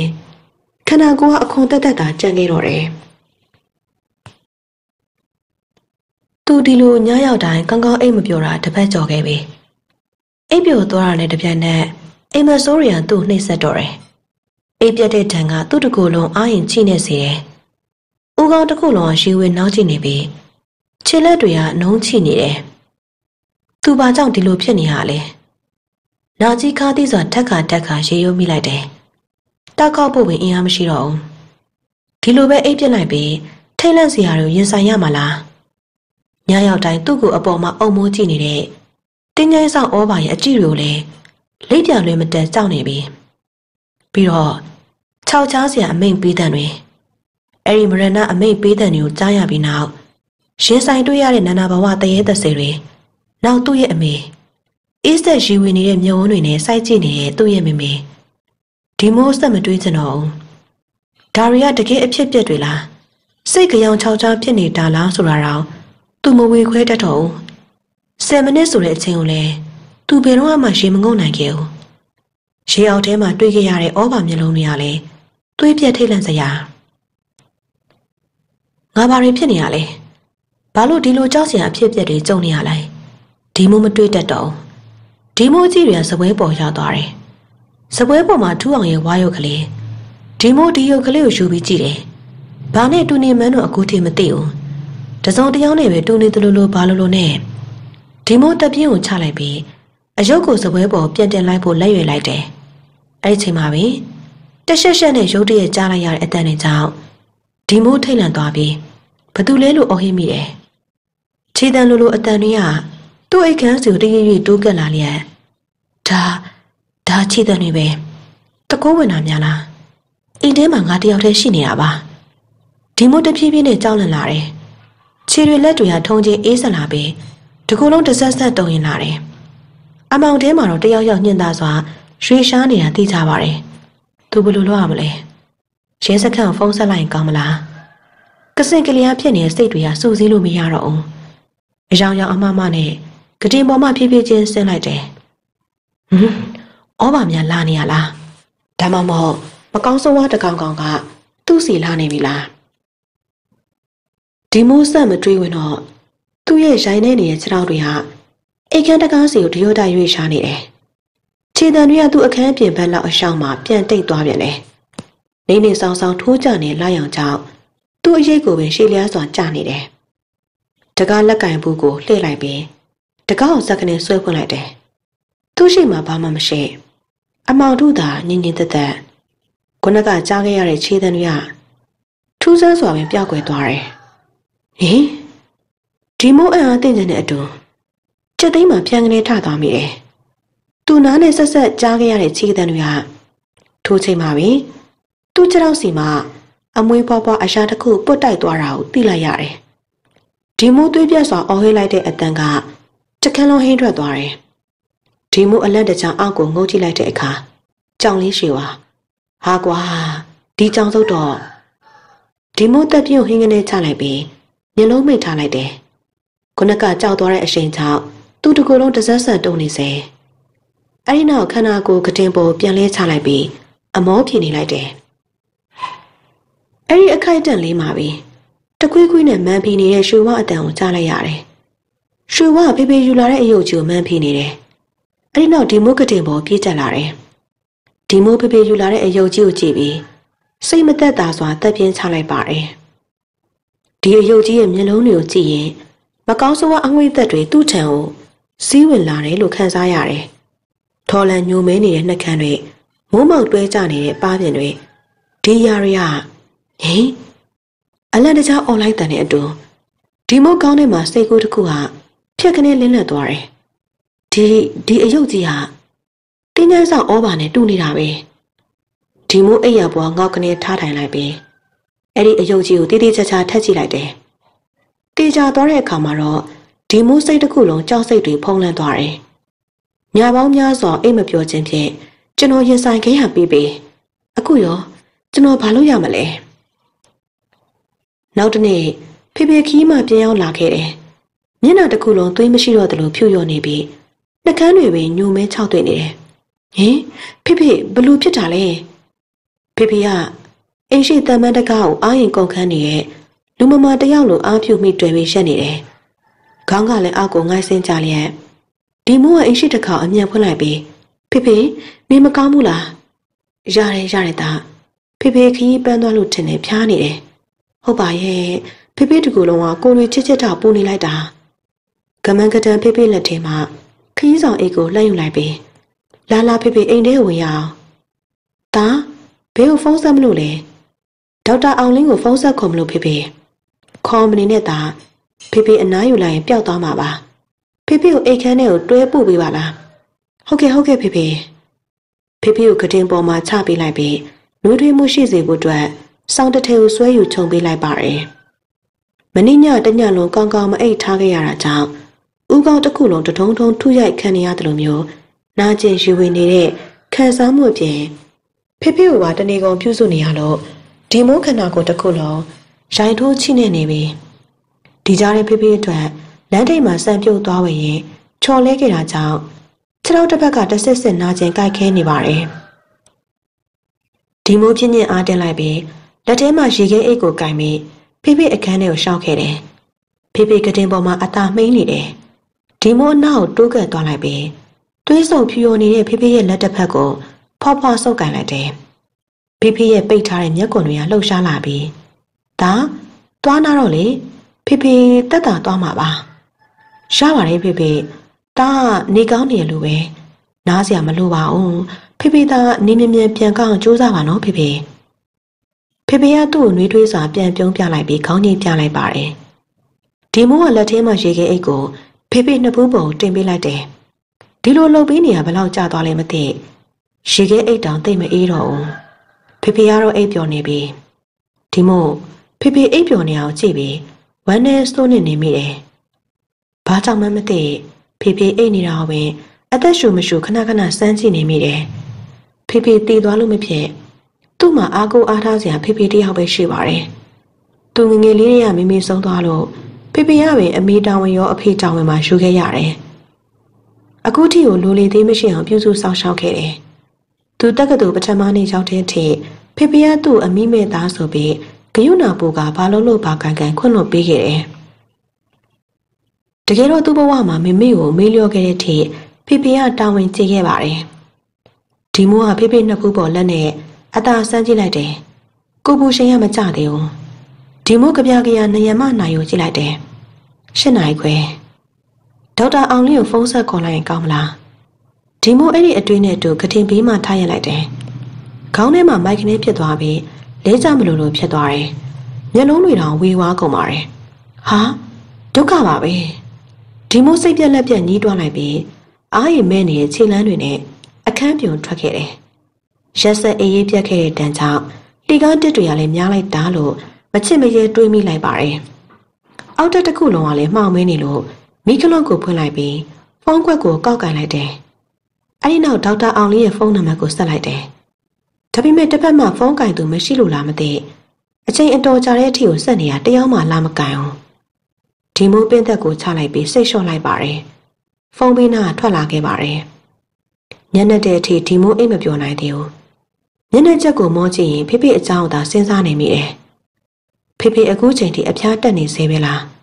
ဒါမှမဟုတ်တခုခုများဖြစ်သွားပြီလားသူ့စိတ်တွေရောက်ရက်ခက်နေတယ်ကိုကယ်ရမဲ့တယောက်လိုခံစားနေရတယ်ဖေဖေမရှိရင်သူ့ဘဝအရန်ကိုအထီးကျန်စက်နေတယ်ဟင်းအင်းဖေဖေဒီယောဂလောင်နေမသိနိုင်ပါဘူး ကိုယ်စိတ်ကိုတွေးပြီးဖြည့်သိမ်းကြည့်နေတယ်အဲဒီနောက်ဖေဖေအတွက်စိုးရိမ်ပူပန်မှုတွေကိုခဏလောက်မေ့ထားလိုက်ပြီးသူ့အိပ်ပျော်ကိုစူးစမ်းလိုက်တယ်ဒီချိန်မှာပဲခေါင်းထဲကိုမိကုန်းတစ်ခုအောင်ဝင်လာတယ်သူဒီညအိမ်မဆိုးတွေစက်မှတ်နေအောင်မလားဒါမှမဟုတ်ဗရဏအမိတ်ပေးတဲ့တွေနဲ့အတူသွေးပြတ်ထိတ်လန့်စရာလောကတွေကိုတိုးဝင်ရအောင်မလားသူမသိချင်တော့ပါဘူးအရေးကြီးတာသူအိပ်ပျော်ဖို့သာလိုတယ်မျက်လုံးကိုမှိတ်ချလိုက်တယ် good night ညနာကျင်ခြောက်ချားွယ်ကောင်းနေပါတယ်လူကောင်းပကတိစိတ်နဲ့သူ့အိမ်မက်ထဲမှာမြင်ကွင်းတွေကိုကြည့်လိုက်တယ်အိမ်မက်ထဲမှာမိုးလိုလားမသိမြင်ကွင်းရတိုးစက်နဲ့အရှောင်းတစ်မျိုးနဲ့တောက်ပနေတယ်ဒါပေမဲ့ဘေးရောင်ဆိုတာလည်းပြက်ပြက်တသားမမြင်ရဘူးငါအိမ်မက်ထဲမှာဘေးကိုရောက်နေရလေလို့ဒီမိုးတွေးလိုက်မိတယ်နေရာတိုင်းကိုပြန်လဲလဲအလင်းရောင်ကကြီးစိုးထားလို့ရှောက်ကြည့်နေတဲ့သူ့မျက်လုံးတွေကျိန်းဆက်လာတယ်အိမ်တလုံး ထူးခြားတဲ့ပုံသဏ္ဍာန်ရှိတဲ့အဲ့ဒီအိမ်ကိုရှောက်သွားလိုက်တယ်ခါတိုင်းလမ်းလျှောက်နေရတယ်မတူပဲလေတိုင်းလို့လွင့်နေတဲ့ငှက်မွေးနဲ့တောင်တူနေပါတယ်ငါလမ်းလျှောက်နေရမှာဟုတ်ရဲ့လားလို့ကိုကုကိုပြန်မေးလိုက်ပါတယ်အိမ်ပေါဝမှာလူကြီးတယောက်ရှက်နေတယ်မျက်နှာကခန်းစားချက်မဲ့နေပြီးနေရင်းနေတဲ့မျက်လုံးတွေနဲ့ဒီမို့စိုက်ကြည့်နေတယ်မျက်ဝန်းထဲမှာနားလျာခတ်တဲ့အရေးငွေတွေအပြည့်သူပြုံးပြလိုက်တယ်ထိုသူကတုတ်ပြန်ခြင်းအလင်းမရှိဘူး ဒီမို့အတန်ထွက်နှုတ်ဆက်ဖို့ပါဇက်ကိုဟလိုက်တယ်ဟင်သူကမှတတိထားမိသွားတယ်ဒီနေရာမှာအတန်းဆိုလို့ကိုအသက်ရှူတန်တော့မကြားရဘူးရှိရှိသမျှအရာတွေအားလုံးတိတ်ဆိတ်နေတယ်ဒီမိုးကြိုးစားပြီးអော်ကြည့်လိုက်တယ်အတန်တွေကထွက်မလားဒါဒါအတန်မဲ့နေရလားဒီမိုးအထိတ်တလန့်နဲ့ဘီဘီဝဲရအောင်ကြည့်လိုက်တယ်အားလုံးကတိတ်ဆိတ်ငြိမ်သက်နေတယ်ထိုအချိန်မှာပင်ဒီမိုးရှိကိုလှဲတစည်းရောက်လာတယ် လှဲပေါ်မှာခေါင်းတလားတစ်လုံးတင်ထားပြီးတစည်းလုံးအနက်တွေကြီးပင်လဲကိုဆွဲတဲ့နွားပင်အနက်ရောင်ဖြစ်ပြီးတကောင်လေးသာရှိနေတယ်ထိုလဲကိုကြက်တည်တည်ကြည့်နေမိစင်မှာပဲသူ့နားရဲကိုအမိန်ပေးတဲ့တွေကပဲ့တင်ထက်လာပြန်တယ်တိတ်ဆိတ်နေတဲ့ကဘာမှာအဲ့ဒီအတန်တွေကအမြည်ဟင်းနေတယ်ဒီမူအတန်လာရဘက်ကိုမှန်းပြီးဥညွတ်အယိုသေးပြေးလိုက်ကလဲဖို့ခုံတက်လိုက်တယ်သူလဲဖို့ရောက်တဲ့ချိန်မှာပဲလှေးကစောင့်ထွက်သွားတယ် သူအနက်ရောင်နွားကြီးကိုကြည့်လိုက်တယ်ဒါဘယ်နည်းနဲ့မှနွားကြီးတစ်ကောင်တလိမ့်ဆန်တစ်ကောင်ကောင်မဖြစ်နိုင်ဘူးမကောင်းဆိုးဝါးတစ်ကောင်ကောင်နွားရောင်ဖန်ဆင်းထားတာပဲဖြစ်ရမယ်ဒီလွန်လှူရှားနေပုံကဝိညာဉ်ဆန်လွန်းလာတယ်ဒီမို့နောက်ကျောမှာအခောက်မိပြီးထိုင်ချလိုက်တယ်ချက်ချင်းဆိုသလိုသူ့ခေါင်းနဲ့အတွေးတစ်ခုဝင်လာတယ်ဒီလက်ကဘယ်ကိုသွားနေရပါလဲဒီမို့အပြင်းထန်စဉ်းစားကြည့်လိုက်တယ်စဉ်းစားလို့မရ ဦးခေါင်းတစ်ခုလုံးဟာလာဟင်းလင်းဖြစ်နေတယ်ဒါပေမဲ့သူ့ရဲ့မသိစိတ်ထဲကတော့တစုံတရာသိထားတယ်လို့မျိုးခံစားနေရတယ်အဲ့ဒါဘာလဲဘာလဲစဉ်းစားကြည့်စမ်းဟောသိပြီလေးကရက်တာနဲ့သူဒီခေါန့်ချပေးရမယ်ဒီခေါန့်ကတိမဲ့လူအတွက်မရဏမင်းကကြိုတင်လှုပ်ထားတဲ့အခေါန့်ပဲဒီမို့အနောက်မှာအခေါန့်လှည့်ကြည့်လိုက်တယ်မင်းနဲ့တောက်ပြောင်ပြီးမိစ္ဆာအငွေအသက်တွေလွှမ်းခြုံထားတယ်လို့မျိုးခြောက်ချားစရာကောင်းလာတယ် ဒါဘသူအတွက်လဲတင်မိတ်ကြထားတဲ့လူအတွက်ဖြစ်မှာပေါ့လို့ကို့ဘာသာကိုအဖြေပြန်ပေးလိုက်ပြီးအရှိကိုပြန်လှည့်လာလိုက်တယ်ထိုချိန်မှာပဲလျှက်ရက်နေပြီဒီမိုးလေးတစ်ချက်ချုံလိုက်ပြီး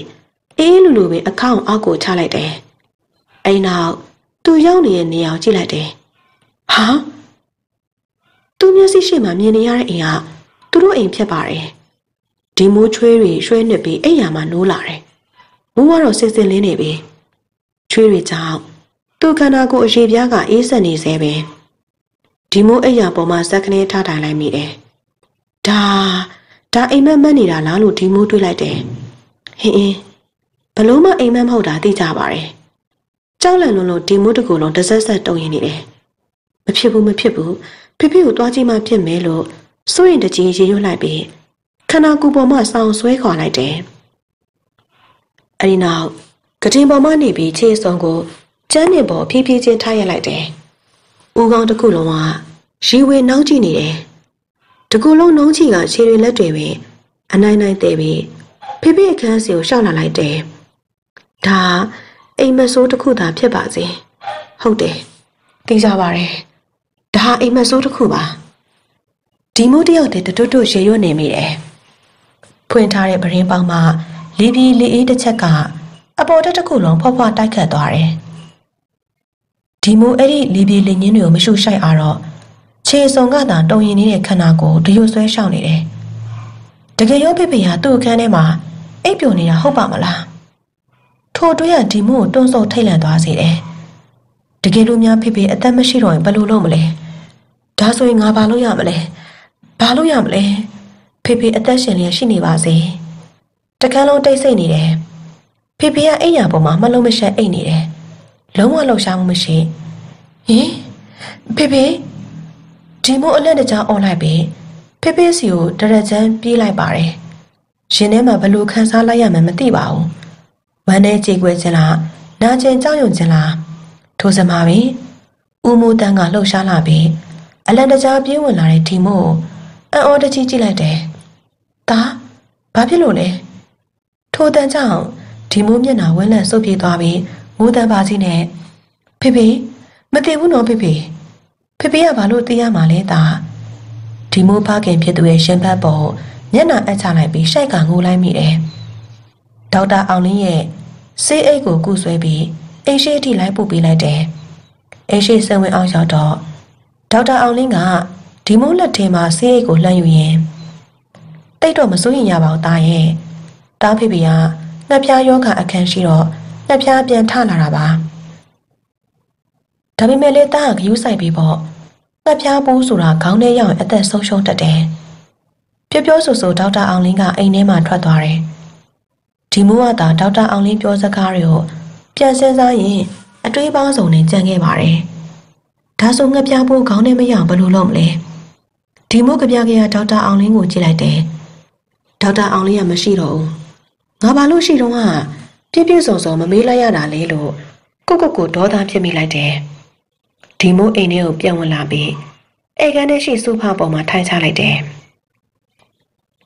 ရှုပ်ချီလိုလိုညာတော့ကအိမ်မကသူ့အာယုံထဲမှာပေါ်လာပြန်တယ်အနက်ရောင်ခေါင်းတလားလဲအဲ့ဒီလဲကိုသူ့မောင်းပြီးအခန်းကိုတိမိန်ကြတဲ့လူရဲ့အိမ်ရှိမှလာချတယ်ထွင်ကသူတို့အိမ်ဒီမိုးဆက်ကနေဆိုဖာထိုင်ကုန်ပေါ်မှာထားရလိုက်မိတယ် ဟင်းအင်းဒါအိမ်မက်တကယ်မဟုတ်ပါဘူးတွေးယူတွေးတဲ့ရေရွလိုက်ပြီးအိမ်ရှိကိုအထိတ်တလန့်ကြည့်လိုက်မိတယ်သိကြပါတယ်ငါညတော့အခေါင်းလာချတာငါတို့အိမ်ရှိပါအဲ့ဒီအတွေ့အကြောင့်ဒီမိုးနှလုံးသားတစ်ခုလုံးတစစ်စစ်နာကျင်သွားပြီးစိုးရိမ်စိတ်ကရင်ထဲအပြည့်ဖြစ်လာတယ်နှကန်းတွေပင်ဆက်ဆက်တုံလာတယ်ငါအိမ်မက်ဆိုတာမကောင်းတဲ့အိမ်မက်မကောင်းဆိုးဝါးတစ်ခေါင်ကနမိတ်ပေးတဲ့အိမ်မက်ပဲ ဒီအိမ်မက်တွေမှန်မှန်နိုင်ငါဘာလို့ရမလဲဘာဖြစ်လို့ညတိုင်းညတိုင်းတင်းငယ်ဆောင်ဩဘာကဂတင်ချင်းရင်ကမိုးမိုးပြီးကြည့်ရလဲဒီမိုးမတက်နိုင်တော့ပင်းသက်သာကြိတ်မိတ်မျိုးချလိုက်တယ်သူ့အတွက်တော့ကံကြမ္မာဇိုးကြီးသာရှိတော့တယ်လို့ထင်တယ်ဒါရီအားလုံးကတိုက်ဆိုင်မှုမဟုတ်တာအောင်သူ့နှလုံးသားရဲ့အသေးချာယုံကြည်လိုက်မိတယ်သွေးဆုပ်ဖြူနေတဲ့ဖေဖေရဲ့လက်ဘဝကိုဒီမိုးကပုတ်ချေပေးလိုက်တယ်ဖေဖေကသူ့ကိုအားရင်ချိနေနေတဲ့အကြည့်တွေနဲ့ကြည့်တယ် အတန်အောင်မထွက်နိုင်ရှာတော့ဒီမိုးဖေဖေကိုကြည့်အော်ဟစ်ငိုယိုပြစ်လိုက်ချင်တော့တယ်တရက်နှစ်ရက်အတွင်းမှာပဲတိတိတတ်တာချောင်းကျသွားတဲ့ဖေဖေဟာဒီလိုမျက်နှာမျိုးသူမမြင်ဘူးသူအမြဲတမ်းကြောက်ရွံ့ခဲ့ရတဲ့မျက်လုံးတွေပဲမိန်ပြော့ကျနေတယ်နှွေးထွေးတဲ့အပြုံးတွေကိုပဲမမြင်ရတော့ဖေဖေအသက်မှရှင်နိုင်ပါတော့မလားဆိုတဲ့အတွေ့ရလဲသူ့ရဲ့ညဘက်အိမ်မက်တွေလို့ခြောက်ချားတုံလုံးစရာကောင်းနေတယ်မဖြစ်ဘူးမဖြစ်ဘူး ဖေဖေအနာမှာငါအမြဲတမ်းစောင့်နေမှာဒီမို့စိတ်ကိုတိမ်ပြီးရေရွလိုက်ခါဦးမိုးတဲ့ရဲ့ကတင်ပေးမှနေလိုက်တယ်လောကကြီးအလယ်မှာမိဘမရှိပဲနေထိုင်ရမယ့်လူတစ်ယောက်အဖြစ်ကိုသူလက်မခံနိုင်ပါဘူးဒီမိုးရေးဒီမိုးဒီမိုးကမိဖို့ချောင်းထဲမှာဖခင်ဖြစ်သူအတွက်စံပြုံးပြုတ်ဖို့ပြင်ဆင်နေတယ်ထိုချိန်မှာပင်သူ့နာမည်ခေါ်တယ်လို့လို့ကြားတယ်လို့စိတ်ထဲမှာထင်မိတယ် ငါ့ကိုတယောက်ယောက်ကများခေါ်နေရလားဒီမိုးအသာနာဆွဲလိုက်တယ်ဒီမိုးဒီမိုးခေါ်တဲ့ပူပြီးထင်ရှားပြပြလာတယ်ဒါချန်ရှိကတယောက်ယောက်ခေါ်နေအတန်ပဲဝင်းစော်တို့များလားမသိဘူးလို့တွေးကဒီမိုးအိမ်ရှိကိုပြေးထွက်လာတယ်စိတ်ထဲမှာလည်းဝင်းစော်ဆိုတဲ့ကောင်ကလည်းလူခေါ်ဘဲတော်မတွေ့ဘူးလားလို့မတိဘူးလို့ပြစ်တင်ချိန်မောင်ရင်အိမ်ရှိတကာဆွဲဖွင့်လိုက်တယ်အိမ်ရှိမှာတော့သူမမျောလင့်ထားတဲ့လူတစ်ယောက် ခီးဆောင်အိတ်တလုံးဆွဲပြီးခြံရှိမှရှက်နေတယ်ဒီမို့မျက်လုံးပြူးကျသွားပြီးအံ့ဩတကြီးနဲ့ဟာထူအောင်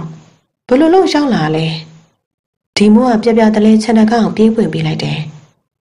တကယ်တော့ထူအောင်ကိုတွေးလိုက်လိုက်ခြင်းမှာအံ့ဩသွားတာထက်အနှင်းငယ်စိတ်ပြက်မိသွားတယ်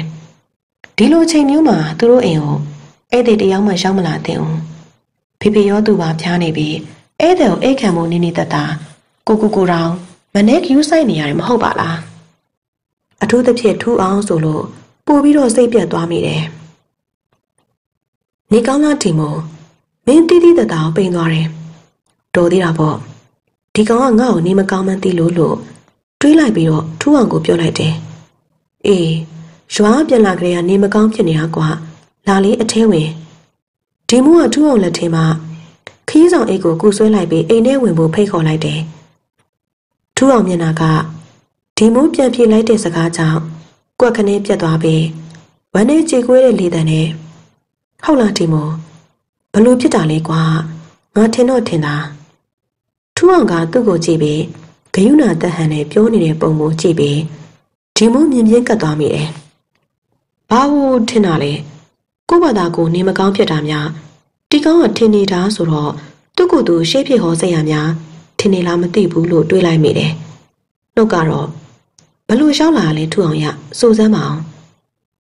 ခီးဆောင်အိတ်ကြပေါ့ကွာသူ့ရှိမှချထားတဲ့ခီးဆောင်အိတ်ကိုလက်ညှိုးထိုးပြလိုက်တယ်။ဒီမိုးကခေါင်းကိုစိတ်ရှုပ်ထွေးသွားဟန်နဲ့ကုတ်ဖော်လိုက်ပြီးရပါတယ်ကွာငါလေးအိမ်ရောက်မှအဝတ်အစားတွေထုတ်ကြည့်လိုက်တော့မင်းအိမ်နဲ့မှားသွားမှန်းသိလိုက်ရတာမင်းအင်ကြီးတွေတစ်ထဲမှမပြောက်ဘူးစိတ်ချ ငါအင်ကြီးတွေအဖိုးမတက်ပါဘူးကွာပျောက်သွားလဲဘာမှမဖြစ်ဘူးငါလာတာအဲ့ဒီကိစ္စမဟုတ်ဘူးကွာမင်းအန်ဒီရဲ့တခုခုနဲ့ကြုံတွေ့နေရပြီဆိုတာထင်မိလိုက်လို့လာခဲ့တာဘာဘလို့ထူအောင်ငါအန်ဒီရဲ့တခုခုနဲ့တွေ့နေရတယ်ဟုတ်လားဟုတ်တယ်ဒီမို့ငါခံမန်းမိရတဲ့လောက်တော့မင်းမအန်ဒီရဲ့တခုခုနဲ့ကြုံတွေ့နေရပြီဥပမာကွာမင်းတရေသက်စီတွေနဲ့ပတ်သက်ပြီးတွေးကြုံနေရတာမျိုးရှိလား ဘာထူအောင်စကားကြောင့်ဒီမို့အလန့်တကြားထောက်လိုက်ပြီးပါဇက်အဟောင်းသားပွင့်သွားတယ်အေးအဖြစ်ပြက်ကတော့အခုငါပြောပြခဲ့တယ်လို့ပါပဲကွာအဲ့တော့ငါတို့ဘာဆက်လုပ်ကြမလဲဒီမိုးကထူအောင်ပြောပြနေတာကိုအသက်မရှူတန်းနားထောင်နေမိတယ်စိတ်လှရှားစရာကောင်းလွန်တာကြောင့်ပါဇက်ပေအဟောင်းသားပွင့်ကြနေတယ်တခဏအတော်တွဲမှာပဲသူ့အိမ်မက်တွေရဲ့အဖြေကိုသိခဲ့ရပြီ တနေ့တပိုးခံစားရတဲ့ခြောက်ခြားတုံလုံးမှုတွေနဲ့အတူသူ့ကိုဒုက္ခပေးခဲ့တဲ့အရာလေးကိုစပွဲပေါ်မှာလှမ်းယူလိုက်တယ်တစူးဝါးနဲ့လှုပ်ထားတဲ့အယုတ်လေးတစ်ယောက်တနည်းအားဖြင့်ပြောရရင် လူသည်အလောင်းများစွာထိုးဆိုင်မိတကြူထားတဲ့တစူးဝါးထိုဝါးကိုအယုတ်လုပ်ပြီးလောကတက်ပညာတွေတက်ကြွထားတဲ့တင်းငယ်ဆောင်ဩဘာကအသက်သွင်းထားတဲ့အယုတ်အဲ့ဒီရုပ်ကိုကင်ထားတဲ့သူ့လက်များပင်တစက်ဆက်တုံရင်လာတယ်။ သူအိမ်မက်များစွာကိုအသက်ပါသွားမတက်ချောင်းလန့်ခဲ့တဲ့ဒီရုပ်သူ့တောင်ဘာလို့ရမှာလဲ။မိရှုဖြက်စီးပြစ်လိုက်ရမှာလား။ဒါမှမဟုတ်ဒီအတိုင်းပဲထားလိုက်ရမှာလား။ဟင်းအင်းဆက်ထားလို့တော့မဖြစ်တော့ဘူး။ဖေဖေရဲ့အသက်ရှင်အတွက်သူတခုခုလုပ်ရတော့မယ်။ဒီမို့ဘာစကားမှမပြောနိုင်တော့ပဲ။စွန့်အနေရဲ့မျက်လုံးနဲ့သာထူးအောင်ကြည့်မိလိုက်တော့တယ်။ထူအောင်ကဒီမို့စိတ်မကောင်းစွာနဲ့ကြည့်လိုက်ပြီး ဒါတွေအလုံးငါးချောင်းပြစ်ခဲ့ရတာပါငါအကြောင်းလွန်ပြီးလှုပ်ခဲ့တဲ့အကျိုးဆက်တွေပေါ့ဒါပေမဲ့အခုလောလောဆယ်တော့ဒါတွေမိထားပြီးဒီရုပ်ကိုလာရအရက်ကိုပြန်ပို့ရတော့မှာပဲဘလို့ပြန်ပို့မှလဲထူအောင်မင်းရောငါရောလက်ထဲမှာထားရင်ဒီအယုတ်ကအန်ဒီရဲ့ကျင်းစီပြီးလာတော့မှာအဲ့တော့အယုတ်ကိုပိုင်ရှင်စီပြန်ပို့လိုက်တာပဲကောင်းမယ်ထင်တယ်ဒီမုံမျက်နှာချက်ချင်းဝင်းကနေလက်သွားပြီးစိတ်လှရှားရင်လေးတန်းနဲ့ပြောလိုက်ပါတယ် ဟုတ်တယ်ငါတို့ဒီတစူးဝါအယုတ်ကိုတင်းကျိုင်းဆောင်ဩဘာစီကိုပြန်ပို့ရမယ်ကတ္တရာပေါ်ကိုခြေချလိုက်ခြင်းမှာပင်လီဘူရီကသူတို့အနောင်ပြတ်တိုက်သွားတယ်အဲ့ဒီလေးနဲ့အတူထူးဆန်းတဲ့အငွေသက်တွေကိုခန်းစားလိုက်ရပါတယ်ချောင်းလန့်နေရလားဒစိမ့်ဆန်နေရလားမခွဲခြားတတော့ဒီမိုးနဲ့ထူအောင်ကတယောက်မျက်နှာတယောက်ကြည့်ပြီးခေါင်းကြီးလိုက်ကြကခြေလမ်းတွေကိုစတင်လိုက်ကြတယ်။နှစ်ယောက်စလုံးရဲ့ခြေလမ်းတွေက ရင်းရင်တက်ကြွမှုနဲ့အတူထိတ်လန့်ကြောက်ရွံ့မှုတွေကပူးကပ်နေကြတယ်ဟင်ဟုတ်လားဘယ်တော့တည်သွားရလဲဒီမိုးနဲ့ထူအောင်စီမှာအာမရိတ်အတန်တွေကကျေလောင်သွားတယ်ဦးလေးဦးဖို့မက်ကအေးစီးတည်ငြိမ်သွားနဲ့ဟုတ်တယ်ကွာတင်းញိုင်းစောက်ဩပါတည်သွားပြီမနေ့ကပဲသူ့ကိုမြင်းမြုပ်လိုက်ကြတာဒီတခါတော့သူ့အလဲဖြစ်သွားတာပေါ့ဘလို့လုပ်ပြီးတည်သွားလဲဦးလေးအေးတည်သွားတာတော့အစမ်းသားကွာ နွားချောင်းသားတွေတွေ့လို့ပြောပြတာတော့အုတ်ကူပေါ်မှာပက်လက်လန်အိမ်ရင်တည်သွားတာတဲ့နွားချောင်းသားတွေကပထမတော့အိမ်နေတယ်ထင်လို့တွားမနိုးရဲချောင်းကွာနောက်မှညနေတီဒီတိုင်းပဲဆိုတော့မတင်ကာရာနဲ့တွားကြည့်လိုက်တော့တကူလုံးအေးဆက်ပြီးတီးနေရပဲနောက်ထပ်ထိုးဆန်းနေရတကူသူ့တီမအောင်ကြိုသိနေလားမသိဘူးတင်ញိုင်းကုန်းထဲမှာကျင်းတကျင်းတူးထားတာတွေ့ရတယ်ဒုရကလူတွေသူ့ကိုအဲ့ဒီကျင်းထဲမှာပဲမြုပ်လိုက်ကြတာ ဒီမိုးကဦးလေးဖို့မရဲ့စကားတွေကိုတိတ်တဆိတ်ငြိမ်သက်စွာနားထောင်နေလိုက်မိတယ်ဒီမိုးကောင်းထဲမှာတော့မိကုန်းတစ်ခုကပြက်ကနေပေါ်လာတယ်တကယ်လို့များဩဘာတူးထားတဲ့ကျင်းကသူ့အတွက်သာမဟုတ်ခဲ့ရင်တခြားလူတယောက်ယောက်အတွက်များဆိုရင်ဘသူအတွက်ဖြစ်မလဲဆိုတော့မိကုန်းမင်ဖြစ်ပါတော့တယ်ဒီမိုးကတစူးဝရုပ်ကိုဩဘာရဲ့မြေပုံပေါ်မှာတင်ထားခဲ့ပြီးတဲ့နောက်မှာမျက်လုံးစုံကိုမိတ် နားကိုပိတ်ပြီးတော့ထွက်လာခဲ့ပါတော့တယ်ဘလို့ဘလို့ကြောက်ရွံ့ထိတ်လန့်စရာကိစ္စကိုမှမမြင်ရဲမကြားရတော့ပါအဲ့ဒီညနေခင်းကထူးဆန်းစွာပင်နေဝင်နာနောက်ကျခဲ့ပါတော့တယ်ဒီမိုးရဲ့သွေးပြက်ထိတ်လန့်ပေါ်ရာအဖြစ်အပျက်တွေဟာအိမ်မလားတကယ်လားတစူးဝါချောင်းလားတင်းញိုင်းဆောင်ဩဘာရဲ့လောကတက်ပညာစွမ်းကြောင့်လားဒီမိုးစိတ်ကြောင်ချောက်ချပြီးဖြစ်ခဲ့တာလားဆိုတာခေါင်းလောင်းအိုင်တရွာလုံး ဘသူမှတိတိကျကျမပြောနိုင်ခဲ့ပါဘူးတေချာတာကတော့အဲ့ဒီကြောက်လန့်ဖွယ်ဖြစ်ရတွေကအမှန်တကယ်ဖြစ်ပွားခဲ့တာဆိုတာပင်ဖြစ်ပါတော့တယ်အဲ့ဒီအယုတ်ကလေးကိုတင်းញိုင်းမှာပြန်ချပြီးတဲ့နောက်မှာတော့ဒီမိုးရဲ့အဖေဦးမိုးတန်လည်းကျမ်းမာလာပါတော့တယ်ညစဉ်ညတိုင်းချောင်းလန့်နေတဲ့ဒီမိုးရဲ့အိမ်မက်ထဲကိုလည်းပရလောကသားတွေတင်းញိုင်းဆောင်ဩပါလေနောက်ထပ်ဘယ်တော့မှ ရောက်မလာတော့ပါဘူးပရိသတ်များရှင်နောက်ရက်ဒီမှာလည်းကျမတို့ရဲ့ channel ကနေပရဇလန်ကောင်းများစွာထုတ်လင်းတင်ဆက်ပေးသွားမှာဖြစ်ပါတယ်အခုလိုမျိုးအားပေးနားဆင်တဲ့အတွက်လည်းကျေးဇူးများကြီးတင်ပါတယ်ရှင်